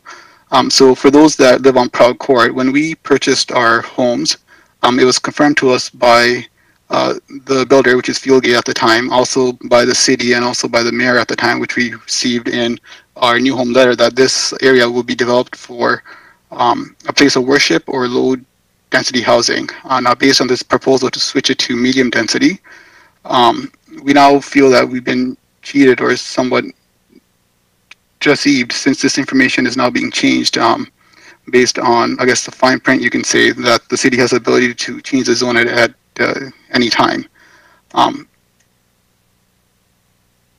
um, and then uh, a few questions that we actually had for the uh, builder as well is just in terms of those homes that are actually backing onto um, the the site for those that are on Proud Court. um, if this proposal does go through and 108 units are built, uh, what, will, what will, be the height of these units compared to the current homes on uh, Proud Court, as uh, some of our backyard pri- privacy will be impacted depending on the height of the new units. Um, and the second one question that we have is, what will be the impact to our foundation to the homes that are being uh, backed onto this uh, area with the underground parking garage? Thank you. Thank you, Harmandeep. The next registered delegation is from Daryl Wolf. Daryl, you have up to five minutes to address the committee. Please proceed. Uh, good evening. Thank you. Uh, Harmandeep actually just stole my thunder because he touched on the points that I wanted to make. So, uh, but just to just to uh, build on what Herman said is, it's all fine and dandy when you're buying the house. You get these acknowledgments and you get these uh, these notifications in your package, and you get a very very nice decent letter from the from the mayor and the city of Brampton indicating on what the proposed vacant lands can be and cannot be. Nothing is mentioned about rezoning after three years. And to my fellow resident who supports this build, she has no idea what 108 townhouses in 1.85 acres is going to get residents. It's basically like my other fellow resident said, it's pigeon coops. I want to know where the quality of living is and where it is going. You're talking about 108 uh, townhouses in 1.85 acres. That's 750 square foot per townhouse, not taking into consideration the, the city street, the, the landscaping and all that. I mean, where are we going to stop? How populated do you want a city to get? How much traffic do you want these areas to be engulfed in? I mean, you go downtown. Do you want to drive downtown? No, you can't drive downtown. But we don't have the infrastructure of, of the transit system like the downtown has, the subways. We don't have that here. And I'll tell you something my fellow resident, my neighbor, a couple of years back, got run over and nearly died on Bonnie Bray and Chinguacousy. And now you're putting 108 townhouses here with an average of three to four people in a townhouse. You're talking about 400 people with a 184 car a parking garage underground. It's going to be madness. We've got the trustees from schools coming and saying there is no place in the schools. I mean, who's planning these things? Who's taking into account what existing people who spent their hard earned money to buy houses here are now going to have a lower quality of life just because a builder bought the land and the city says we want to have affordable housing? And to my fellow resident who thinks it's going to generate carbon footprint, if you can afford a house which is $750,000, you're going to afford a car. So don't tell me you're going to be walking. The people using the transit system, the buses over here, are people are students and, and the people who are renting basement apartments. So it's not happening. The other thing I want clarification is on my purchase of the house, I'm the corner unit here, 10 Proud Court, and my side faces Chinguacousy Road. I was charged a premium for the corner lot. Who's going to be responsible for that premium? The builder is nowhere to no, is not going to do anything because they're going to say the city had access uh, access to the land. Like, what's going to happen to my privacy? What is happen, happening to my quality of life when I purchase this place? For the last, from the time I bought this house in 2016, for three years, this land was used as a dumping site for dirt. I couldn't use my backyard. Now you're going to put 108 townhouses, which is right looking into my bedroom window. Forget about using my, my, my backyard. I'm not working here to please the city. The city is supposed to be looking after the residents, not making it a congested area, not lowering the quality of life. 750 square foot per house? Come on. You guys must be joking. Even I can tell you that's not feasible. You can do any, any amount of studies, that's not going to do it. So that's one thing. Traffic congestion. I mean, the congestion is just going to go out of out of out of whack, as my other fellow uh, residents has mentioned, right? So we got to look at all that. We got to look at safety of the of, of our kids. You want those kids to be playing on the main street on Elm, uh, Elmcrest and and Bonnie Bray? It's not happening. So there is not enough of land, I can tell you, to build 108 townhouses and support 500 people coming into those townhouses. It's not happening. whatever your feasibility studies the builder is going to provide you with, it's both BS. Pardon my French. Uh, so my question is, how is the city going to manage the congestion? How is the city going to manage the overpopulated schools? How is the city going to manage the overcrowded hospitals, Daryl, the you have clinics, 30 the seconds. dentists? I'm going to believe it at that. Thank you for the time.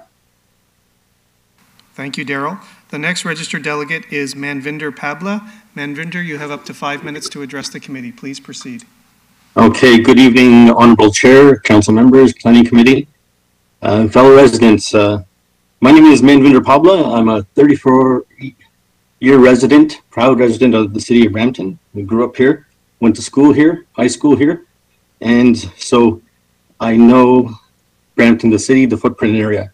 And uh, as a resident and a former parent school chair council member of Churchville Public School, I'd like to bring the following concerns from the fellow uh, representing over 250 residents of the Bonnie Bray neighborhood. Um, residents that have brought these concerns to to our attention and we're bringing it to your attention. Uh, again, the major concerns, a lot of the sentiments some fellow residents have spoken about is the major concern is that currently there is a cap at Churchville Public School, one of the only public schools in the area from K to 8 school. Uh, residents resi- residing within cannot even attend due to the uh, cap limit and are upset because when they moved into this area, because of the lure of the school, there and the, the school admin is saying, sorry, we're up to the cap. And just as a some some statistics, 2015 the, the number of students was 887. In 2016 it was 917. 2017 it was 898. 2018 it was 1012. 2019 it's 1029. Sorry, I don't have anything for 2020 or 21 or actually the current year, this current year, we're up to 921 and that's capped. And next year, it's also been capped and next year they're anticipating a, 1,010. Uh, currently, we have an overflow of 140 students into other schools and that, that's not being accommodating. Uh, and speaking with uh, our, our school trustee, Kathy McDonald, um, the common question other residents have, have addressed is where are you planning to accommodate kids, like kids not only in this planned subdivision, but uh, also the Allegro development has also added to the stress of the enrollment into this area. And it's still not 100% occupied. So that, that's, a, that's a huge concern. Are you willing to inform families that their children are not able to attend the, the, the closest school and would be transferred elsewhere? You know, someone coming in for the lure and purchasing a house and then finding out that, oh, by the way, your, your, your kid has to be, your child has to be bused elsewhere. How realistic is that to them? Right. And there was a traffic study done by the school back in 2020, and there's a lot of traffic concerns that that have been addressed, and some of the residents have also brought it up. Um, in the morning and the afternoon, the traffic gets backed up on Bonnie Braes. You have the crossing guard there as well that's stopping the flow of traffic for allowing the kids to to walk to school, but that causes a backup. A lot of people trying to merger in and, and get in and make left turn lanes and and and uh, it, it, it's a zoo. Yeah, you guys should come out and, and witness it for yourself. A lot of people trying to get into the kiss and ride that's only open in the morning. In the afternoons, the kiss and ride is closed because of this traffic study, and that throws an overflow onto the supporting arteries, side streets, and everything else. So people have nowhere else to go but park all around, double parked, triple parked, illegally parked, you name it, it's happening. And U-turns are just always a common concern because people are just making U-turns at a whim and, and having no disres- disregard in front of the school on Bonnie Bray. So, um, lastly, the enroll- enrollment cap was approved back in February of 2017 and then further amended back in March of 2018. And as someone alluded, the the school already is at the maximum of 12 portables. So there's no other means of bringing in other portables or other expansion to the school to accommodate the students. So um, all in all, if you take into consideration and, and really realistically look at the Allegro development, that is not hundred percent occupied. So where are you gonna put those kids? Also, in this plan development, in this uh, area, where are you planning to put those potential kids uh, for, for, for schooling? So uh, that's all I'd like to say on behalf of myself and the Bonnie Bray community. We thank you for listening and appreciate your time. Thank you very much. Thank you, Manvinder. The next registered delegate is Parminder Grewal. Parminder, you can unmute your microphone and you have up to five minutes to address the committee. Please proceed. All right, thank you so much. Uh, good evening. Thank you for the opportunity, Mr. Chair, members of committee, and uh, City Clerk, to let me share my views on this potential zone changes. Uh, my name is Parminder Grewal. I'm a resident of Ward 4. I have been a resident of Brampton for, for 20 plus years. Um, let me start by saying that I strongly oppose the zoning change off this land at this intersection of Chinguacousy and Bonnie Braes, and I live in this subdivision. And when we purchased our properties from the builder, uh, we were informed that this will be a place of worship built on this land. If this, uh, if the zoning is to, to be changed, it will it would be a low density residence basically, and uh, we are now being informed that this will be a high density residential development this will be an issue for the residents of the subdivision and the neighboring subdivisions as this will impact us all. Re- the, the residents negatively, it will impact us all, the residents negatively in many ways. Some of the immediate negative effects uh, are our schools are already overcrowded as it is now. And uh, as Manvinder mentioned, there is another subdivision that's, or more homes being built by Allegro that are where people haven't even started moving in, and our schools are already overcrowded.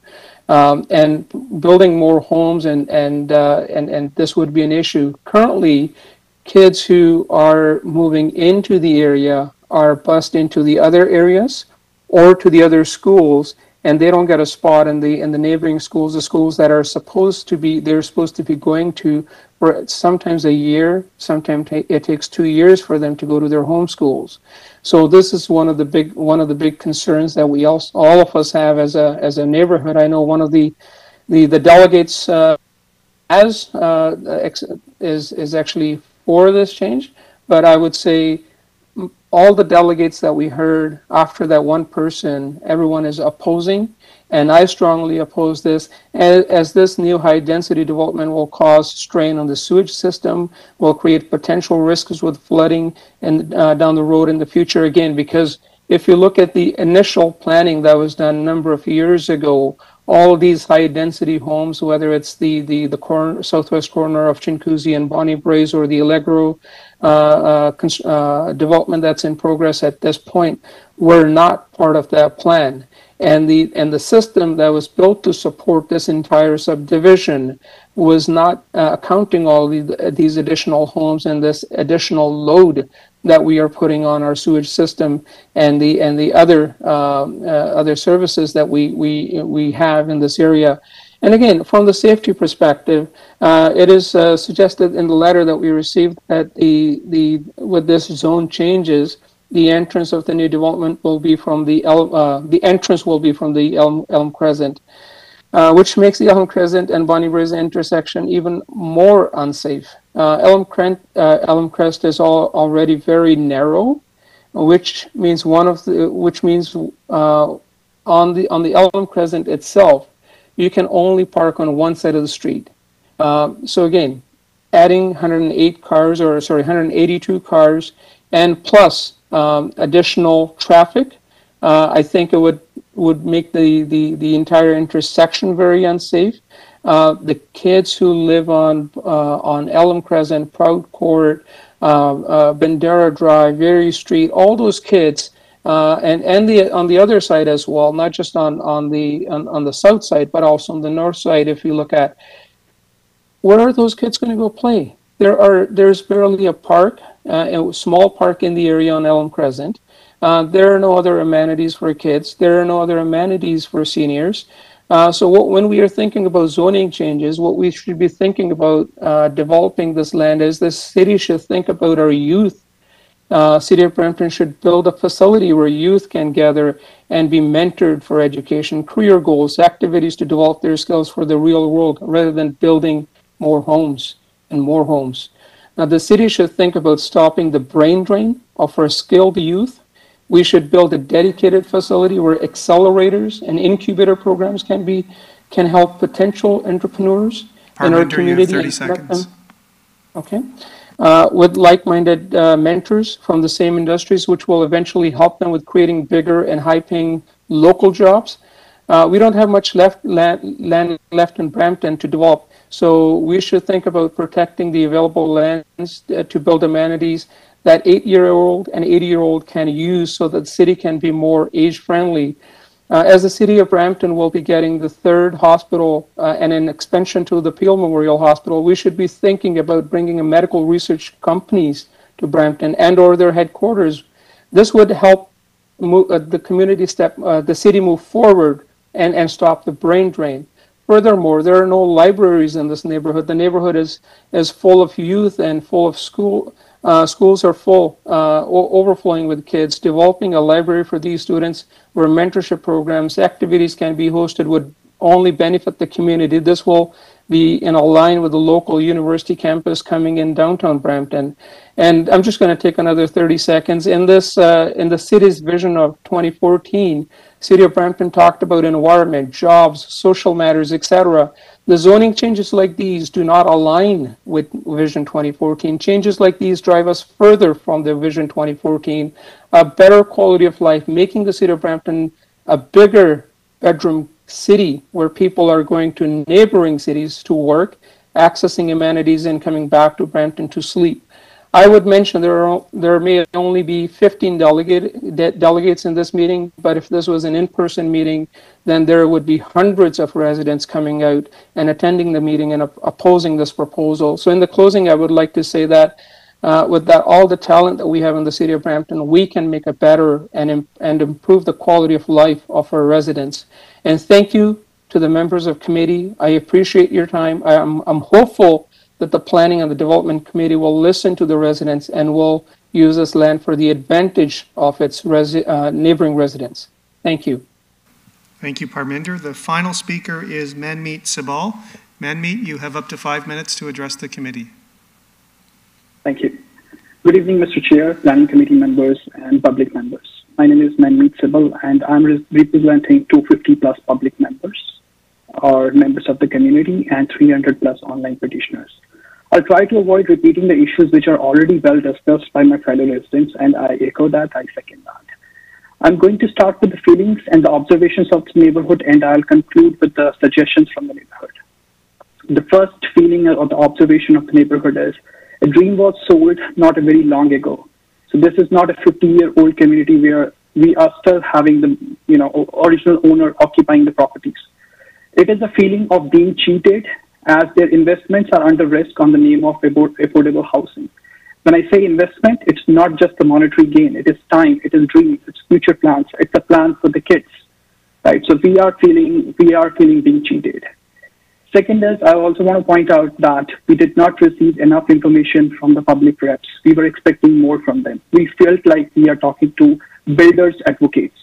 At one time, we were told that if we oppose this plan, the builder will go ahead, go to the Ontario Land Tribunal, and ask for compensation in the form of additional housing. Are we kidding? Are we going into that mode? Are we going to discourage the, the neighborhood with these kind of sentences? So this was not expected out of the public reps. And the third is uh, it's, it's a very strong feeling, and residents are trying to understand who the city is working for. So is the city only working for collecting more money, or are we trying to make the life better for the citizens of this, of this city? Now, these are about the feelings. Now, next thing is we are not, we just want to emphasize on this point that we are not against any development. We all, we all are Brampton citizens, and we are proud Brampton citizens, and we want Brampton to be number one city of Canada, or probably the number one city of, of the whole world. But development at what cost? How much can we squeeze in the name of affordable housing? What is the definition of affordable housing?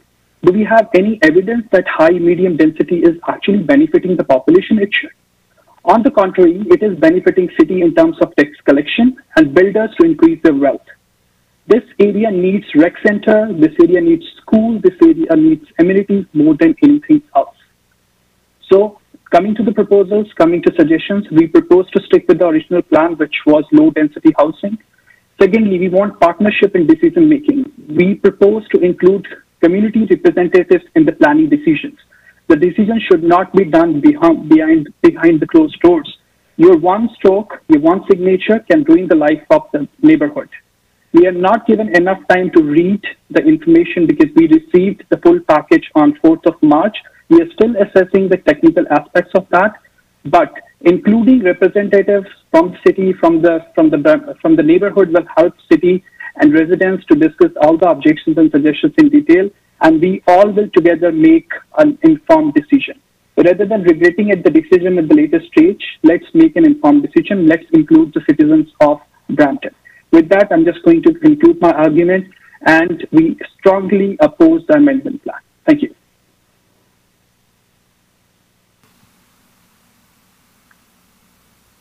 Thank you. And that concludes the delegations, Mr. Chair, and there is correspondence under 11.2 on this item.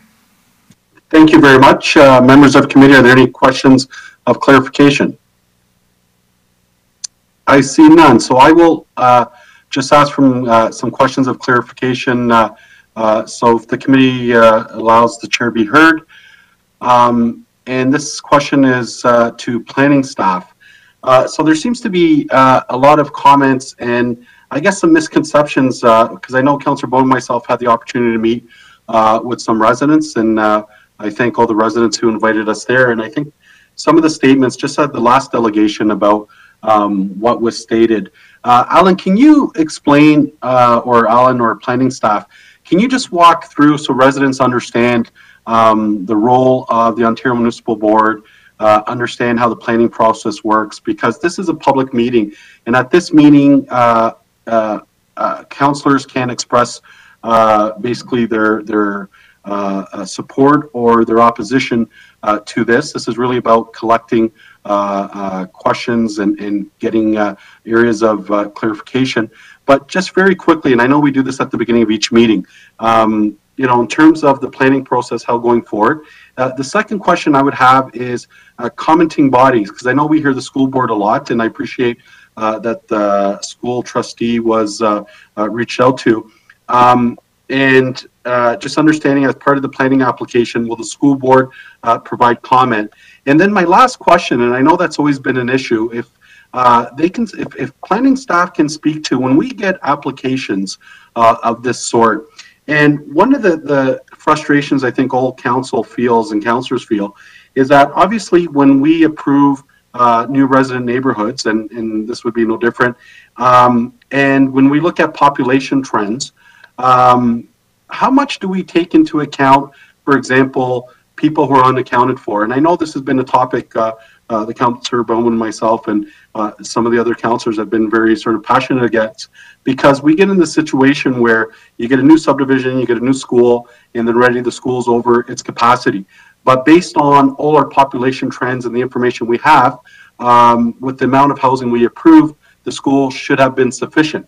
But then there's a certain percentage of unaccounted people, uh, be it through illegal dwellings or something, and and that sort of forces the numbers uh, to be skewed. So I know I put a lot on your plate, but just if you can clarify those things. So one is just again outlining the role of um, the Ontario Municipal Board, and uh, so people understand that uh, there is uh, um, that option regardless of what the decision after. And then after the second one, uh, again, would be uh, in terms of uh, commenting bodies, including the school board. And third, our sort of population projections when we approve planning. I know there's a lot on your plate, but just if you can provide any comments. Thank you, Ellen. Sure. Th thank you, Mr. Chairman.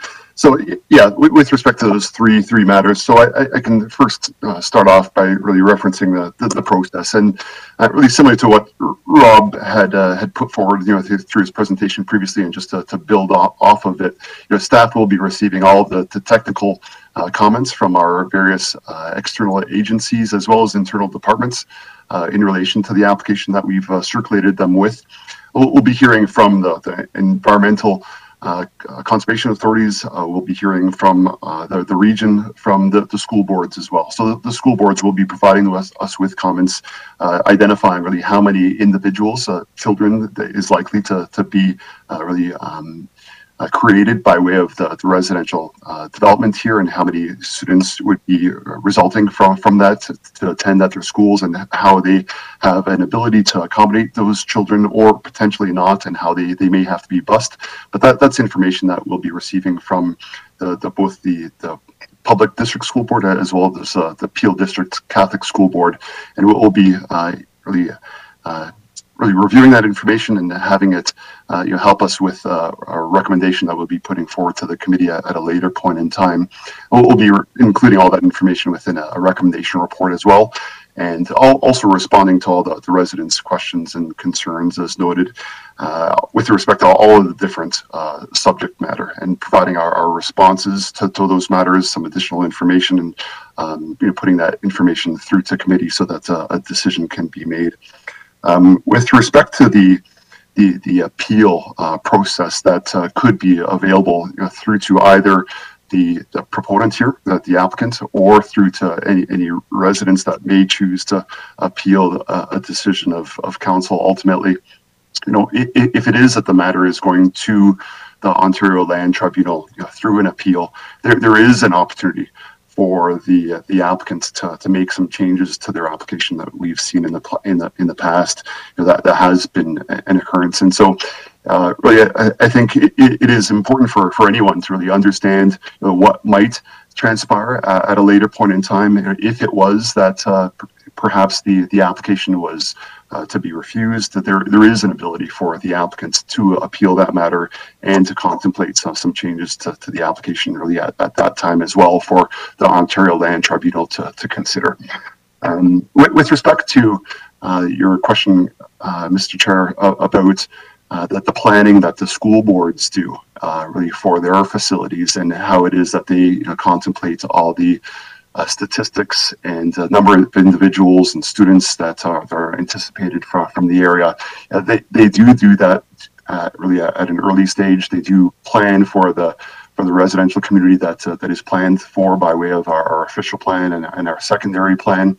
Uh, there is sometimes the, the need for those school boards to to modify their their plans, knowing that that the area has developed in, in some uh, different ways, some some with some deviations from the original plan. Uh, we, we, know that too, that has had to be the case uh, to to some extent with uh, secondary dwellings, basement apartments, and such. You know, there there always is this uh, instance of uh, larger lots that are not developed at the first instance, but uh, developed at a, at a, later point in time, and and there are changes that occur, you know, sometimes on lots such as this, as the proponent is proposing herein. The the school boards try to accommodate really all of those you know, uh, pieces of information criteria and come up with uh, the best arrangement for for their schools and facilities at, at, that earlier point in time. But but yes, there, there is a need for for them to sometimes make these changes, uh, accommodate those changes via additional uh, students by way of portables, uh, potentially through busing as well. But uh, what what we see uh, really in City of Brampton, various GTA municipalities, that some of this uh, demographic and the number of students within a, a, certain geography they, there are the ebbs and flows and high points and, and low points over time. So while it is at, at this point in time that uh, the, the, the school boards are having to utilize portables, uh, there is some need in certain areas of the city for them to utilize busing. It, it may very well be that uh, at a later point in time, just the, the way the demographics shift, that there there will be a, a reduced number of students, uh, and so that that's found in various areas in, in Toronto similarly. But uh, but Mr. Chair, by all means, if, if there's a, another piece uh, of information that you'd like for me to, to speak to, then by all means. Yeah, and, and thank you very much, uh, uh Alan, for the answer. So I think the um, you know in terms of the application process per se, and I I know we've outlined it, but sort of the commenting bodies.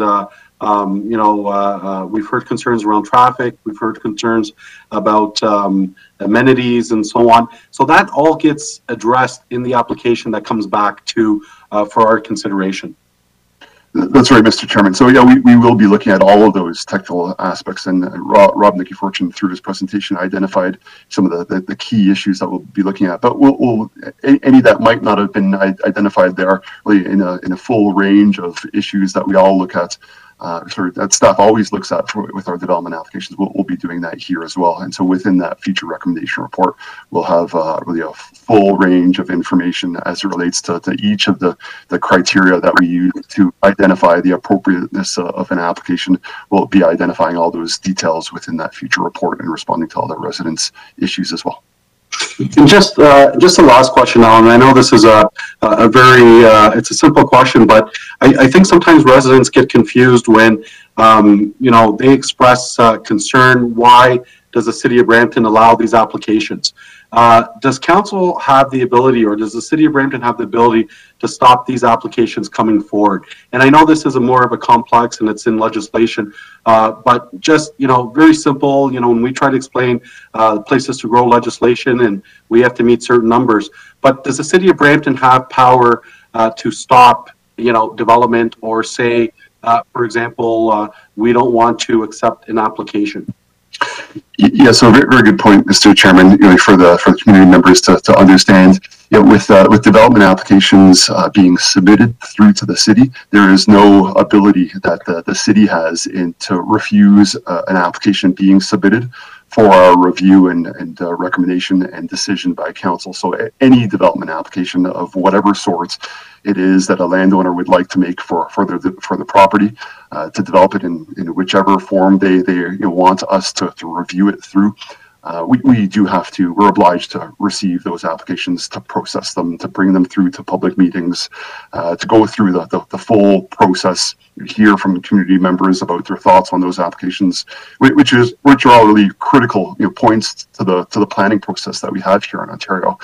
Uh, but ultimately, uh, yes, it, it, will be that uh, that city staff through a recommendation report at, at a really uh, a later point in time after the processing of, of any application, we, we make our recommendations through to, to planning committee uh, for planning committee's consideration uh, and ultimately uh, a decision made by, by planning committee and then ultimately you know, through to council. And that, as stated previously, there there's a, an appeal period uh, and an, an appeal opportunity you know, by way of either the, the proponent if the application is refused or by way of uh, any uh, third party individuals if it is that the application is approved. Okay, thank you, Alan. And again, just as a reminder to folks, anyone who has further questions of clarification or uh, comments, they can uh, write to Rob directly. And if you just want to give your email again, Rob. My email address is my first name dot last name, so it's rob dot Nykyforchyn, N Y K Y F O R C H Y N at brampton.ca. And that is on the back end of the that are available also from the clerk's office online. Great, thank you very much. Uh, so I don't see any further uh, questions of clarification. So I do have a, a, motion moved by Councillor Bowman to approve the staff report recommendations and applicant uh, delegations and uh, correspondence. Uh, is there anyone opposed?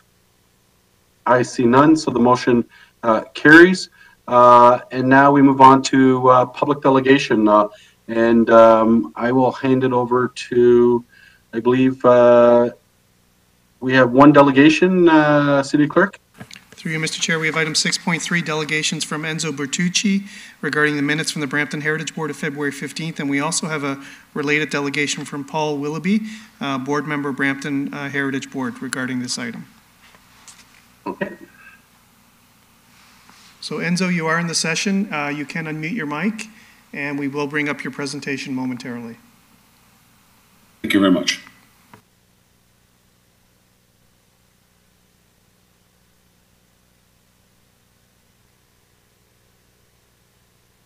Uh, I would start with the February 14th letter first, actually, if that's okay. Yeah, perfect. Thank you. Good evening, Chair Medeiros, committee members, city staff, and members of the public. My name is Enzo Bertucci, and I'm the Director of Land Development at Brian Haven.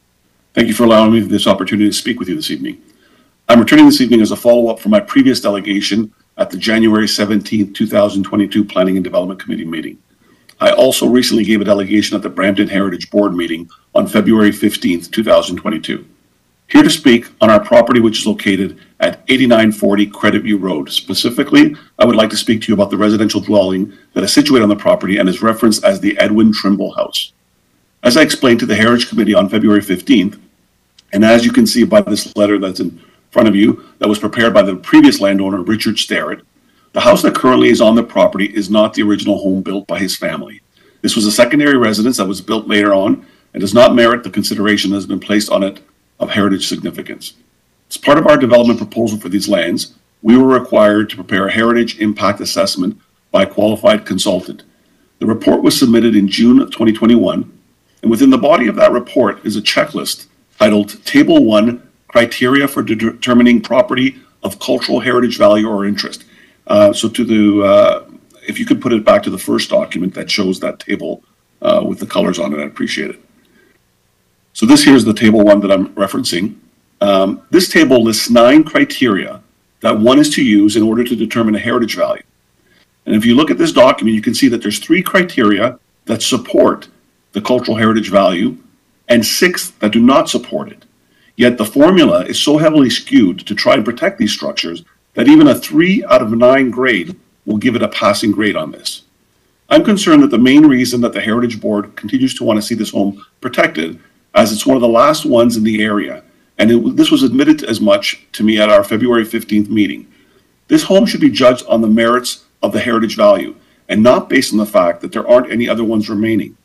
Like many other planning types of applications that would come before this committee, each file should be judged on its own merits and not whether or not it's one as opposed to 10 applications. We are here, again, requesting, as we did back in January, that this committee overturn the recommendations of the Heritage Board and allow us to remove this dwelling as part, part of our current development process. Our land is the last piece of undeveloped land in this area, and this would allow for the completion of this community with homes that are similar in form to what is currently built there now. As part of the removal, we would be happy to undertake a demolition of the home that is both sensitive and respectful to the history of the Springbrook community and use material salvage to build an acknowledgement piece that can inform the public of the importance of this community. Thank you, and I'd be happy to answer any questions from the committee.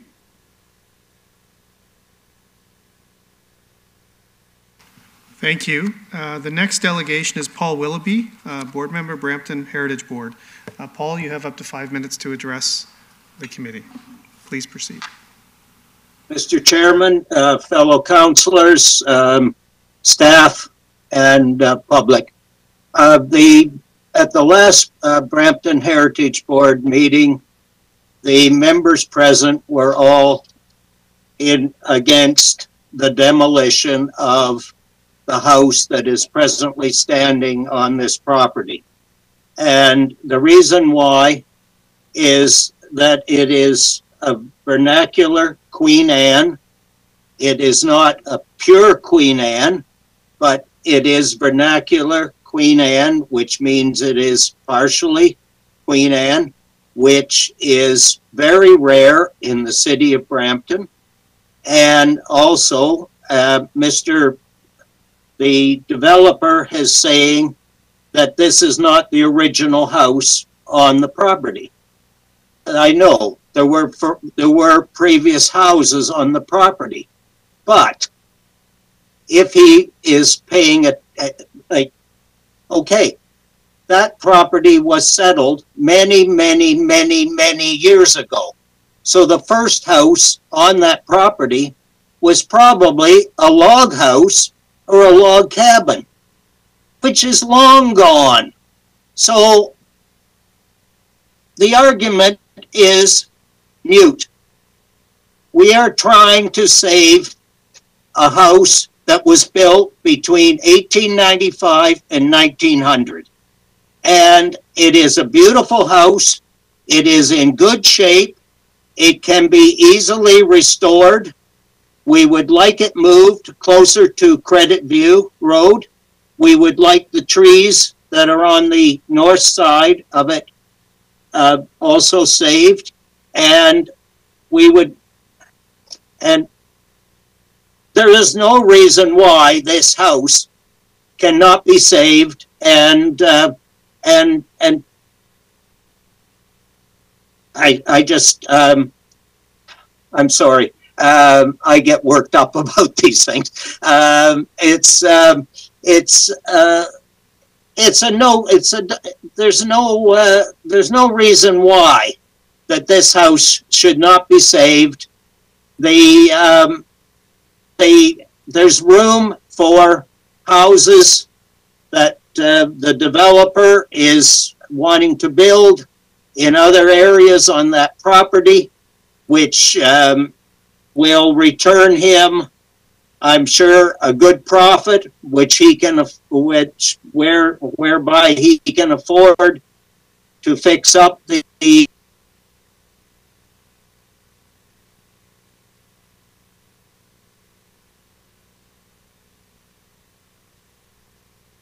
a long time early settlers of Chinguacousy Township. There were several of them that were uh, school trustees, not Edwin, who built this house, but some of his cousins were school trustees in Chinguacousy, and um, they they were very very well known and were large landowners in Chinguacousy Township. Thank you. Thank you very much. Are there any uh, questions uh, for the delegations? Uh, I see none. Uh, Councillor Bowman, go ahead. Chair, um, I had put this off. I was the, uh, the, the one who put off and sent it back to the Heritage Board. Um, once Enzo had brought this forward, once Brent Haven had brought this forward about not being the original home. Um, we had a meeting with our own heritage staff, uh, Councilor Medeiros and I, last week. Councilor Vicente was also there. Um, and we heard back from heritage staff in their minutes.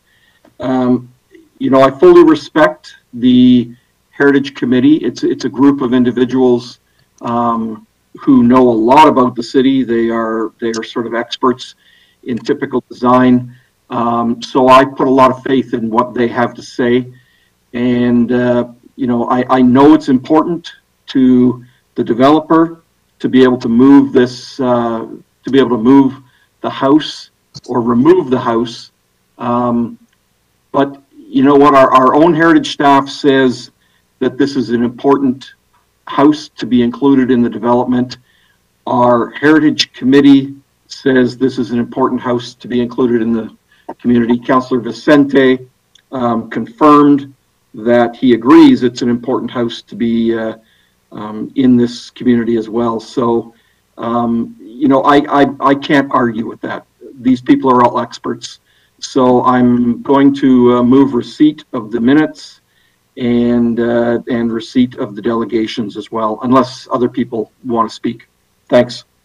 Okay, thank you, Councillor Bowman. So I do not see any uh, further speakers. So we do have a, a motion of receipt um, of uh, the delegations and of the minutes. Through you, Uh, Mr. Chair? Yes. Just to clarify, so it is receipt of the delegation and approval of the minutes of the Brampton Heritage Board. Just want to clarify that's the intent. Yeah, that's that's the intent. Thank you, City Clerk. Is there anyone opposed? I see none, so the motion carries. Um, so we are now staff. Oh, we've done with the presentations, and uh, we've done with committee minutes. So we are now to. Uh, ref- so we have a deferred matter. So have we dealt with that one, right? That, that item's been dealt with at council, yes, Mr. Chair. Yes, so correspondence we dealt with. Councillor question period. Are there any questions from members of committee? I see none. So our next is public question period. Uh, City Clerk, do we have any member questions from members of the public? There are none, Mr. Chair. Thank you very much. Our next is, uh, our next item is adjournment. So I do have a, a motion moved by Councillor Vicente, uh, uh, to adjourn. So our committee meeting is now, our next meeting is March 21st. Is there anyone opposed? I see none. So the motion, uh, carries and, uh, thank you everyone uh, thank you everyone. Thank you staff and, uh, thank you for everyone who delegated today. Uh, have a safe and, uh, uh, good night. Thank you, Mr. Chair. Members of committee, we're just going to wait.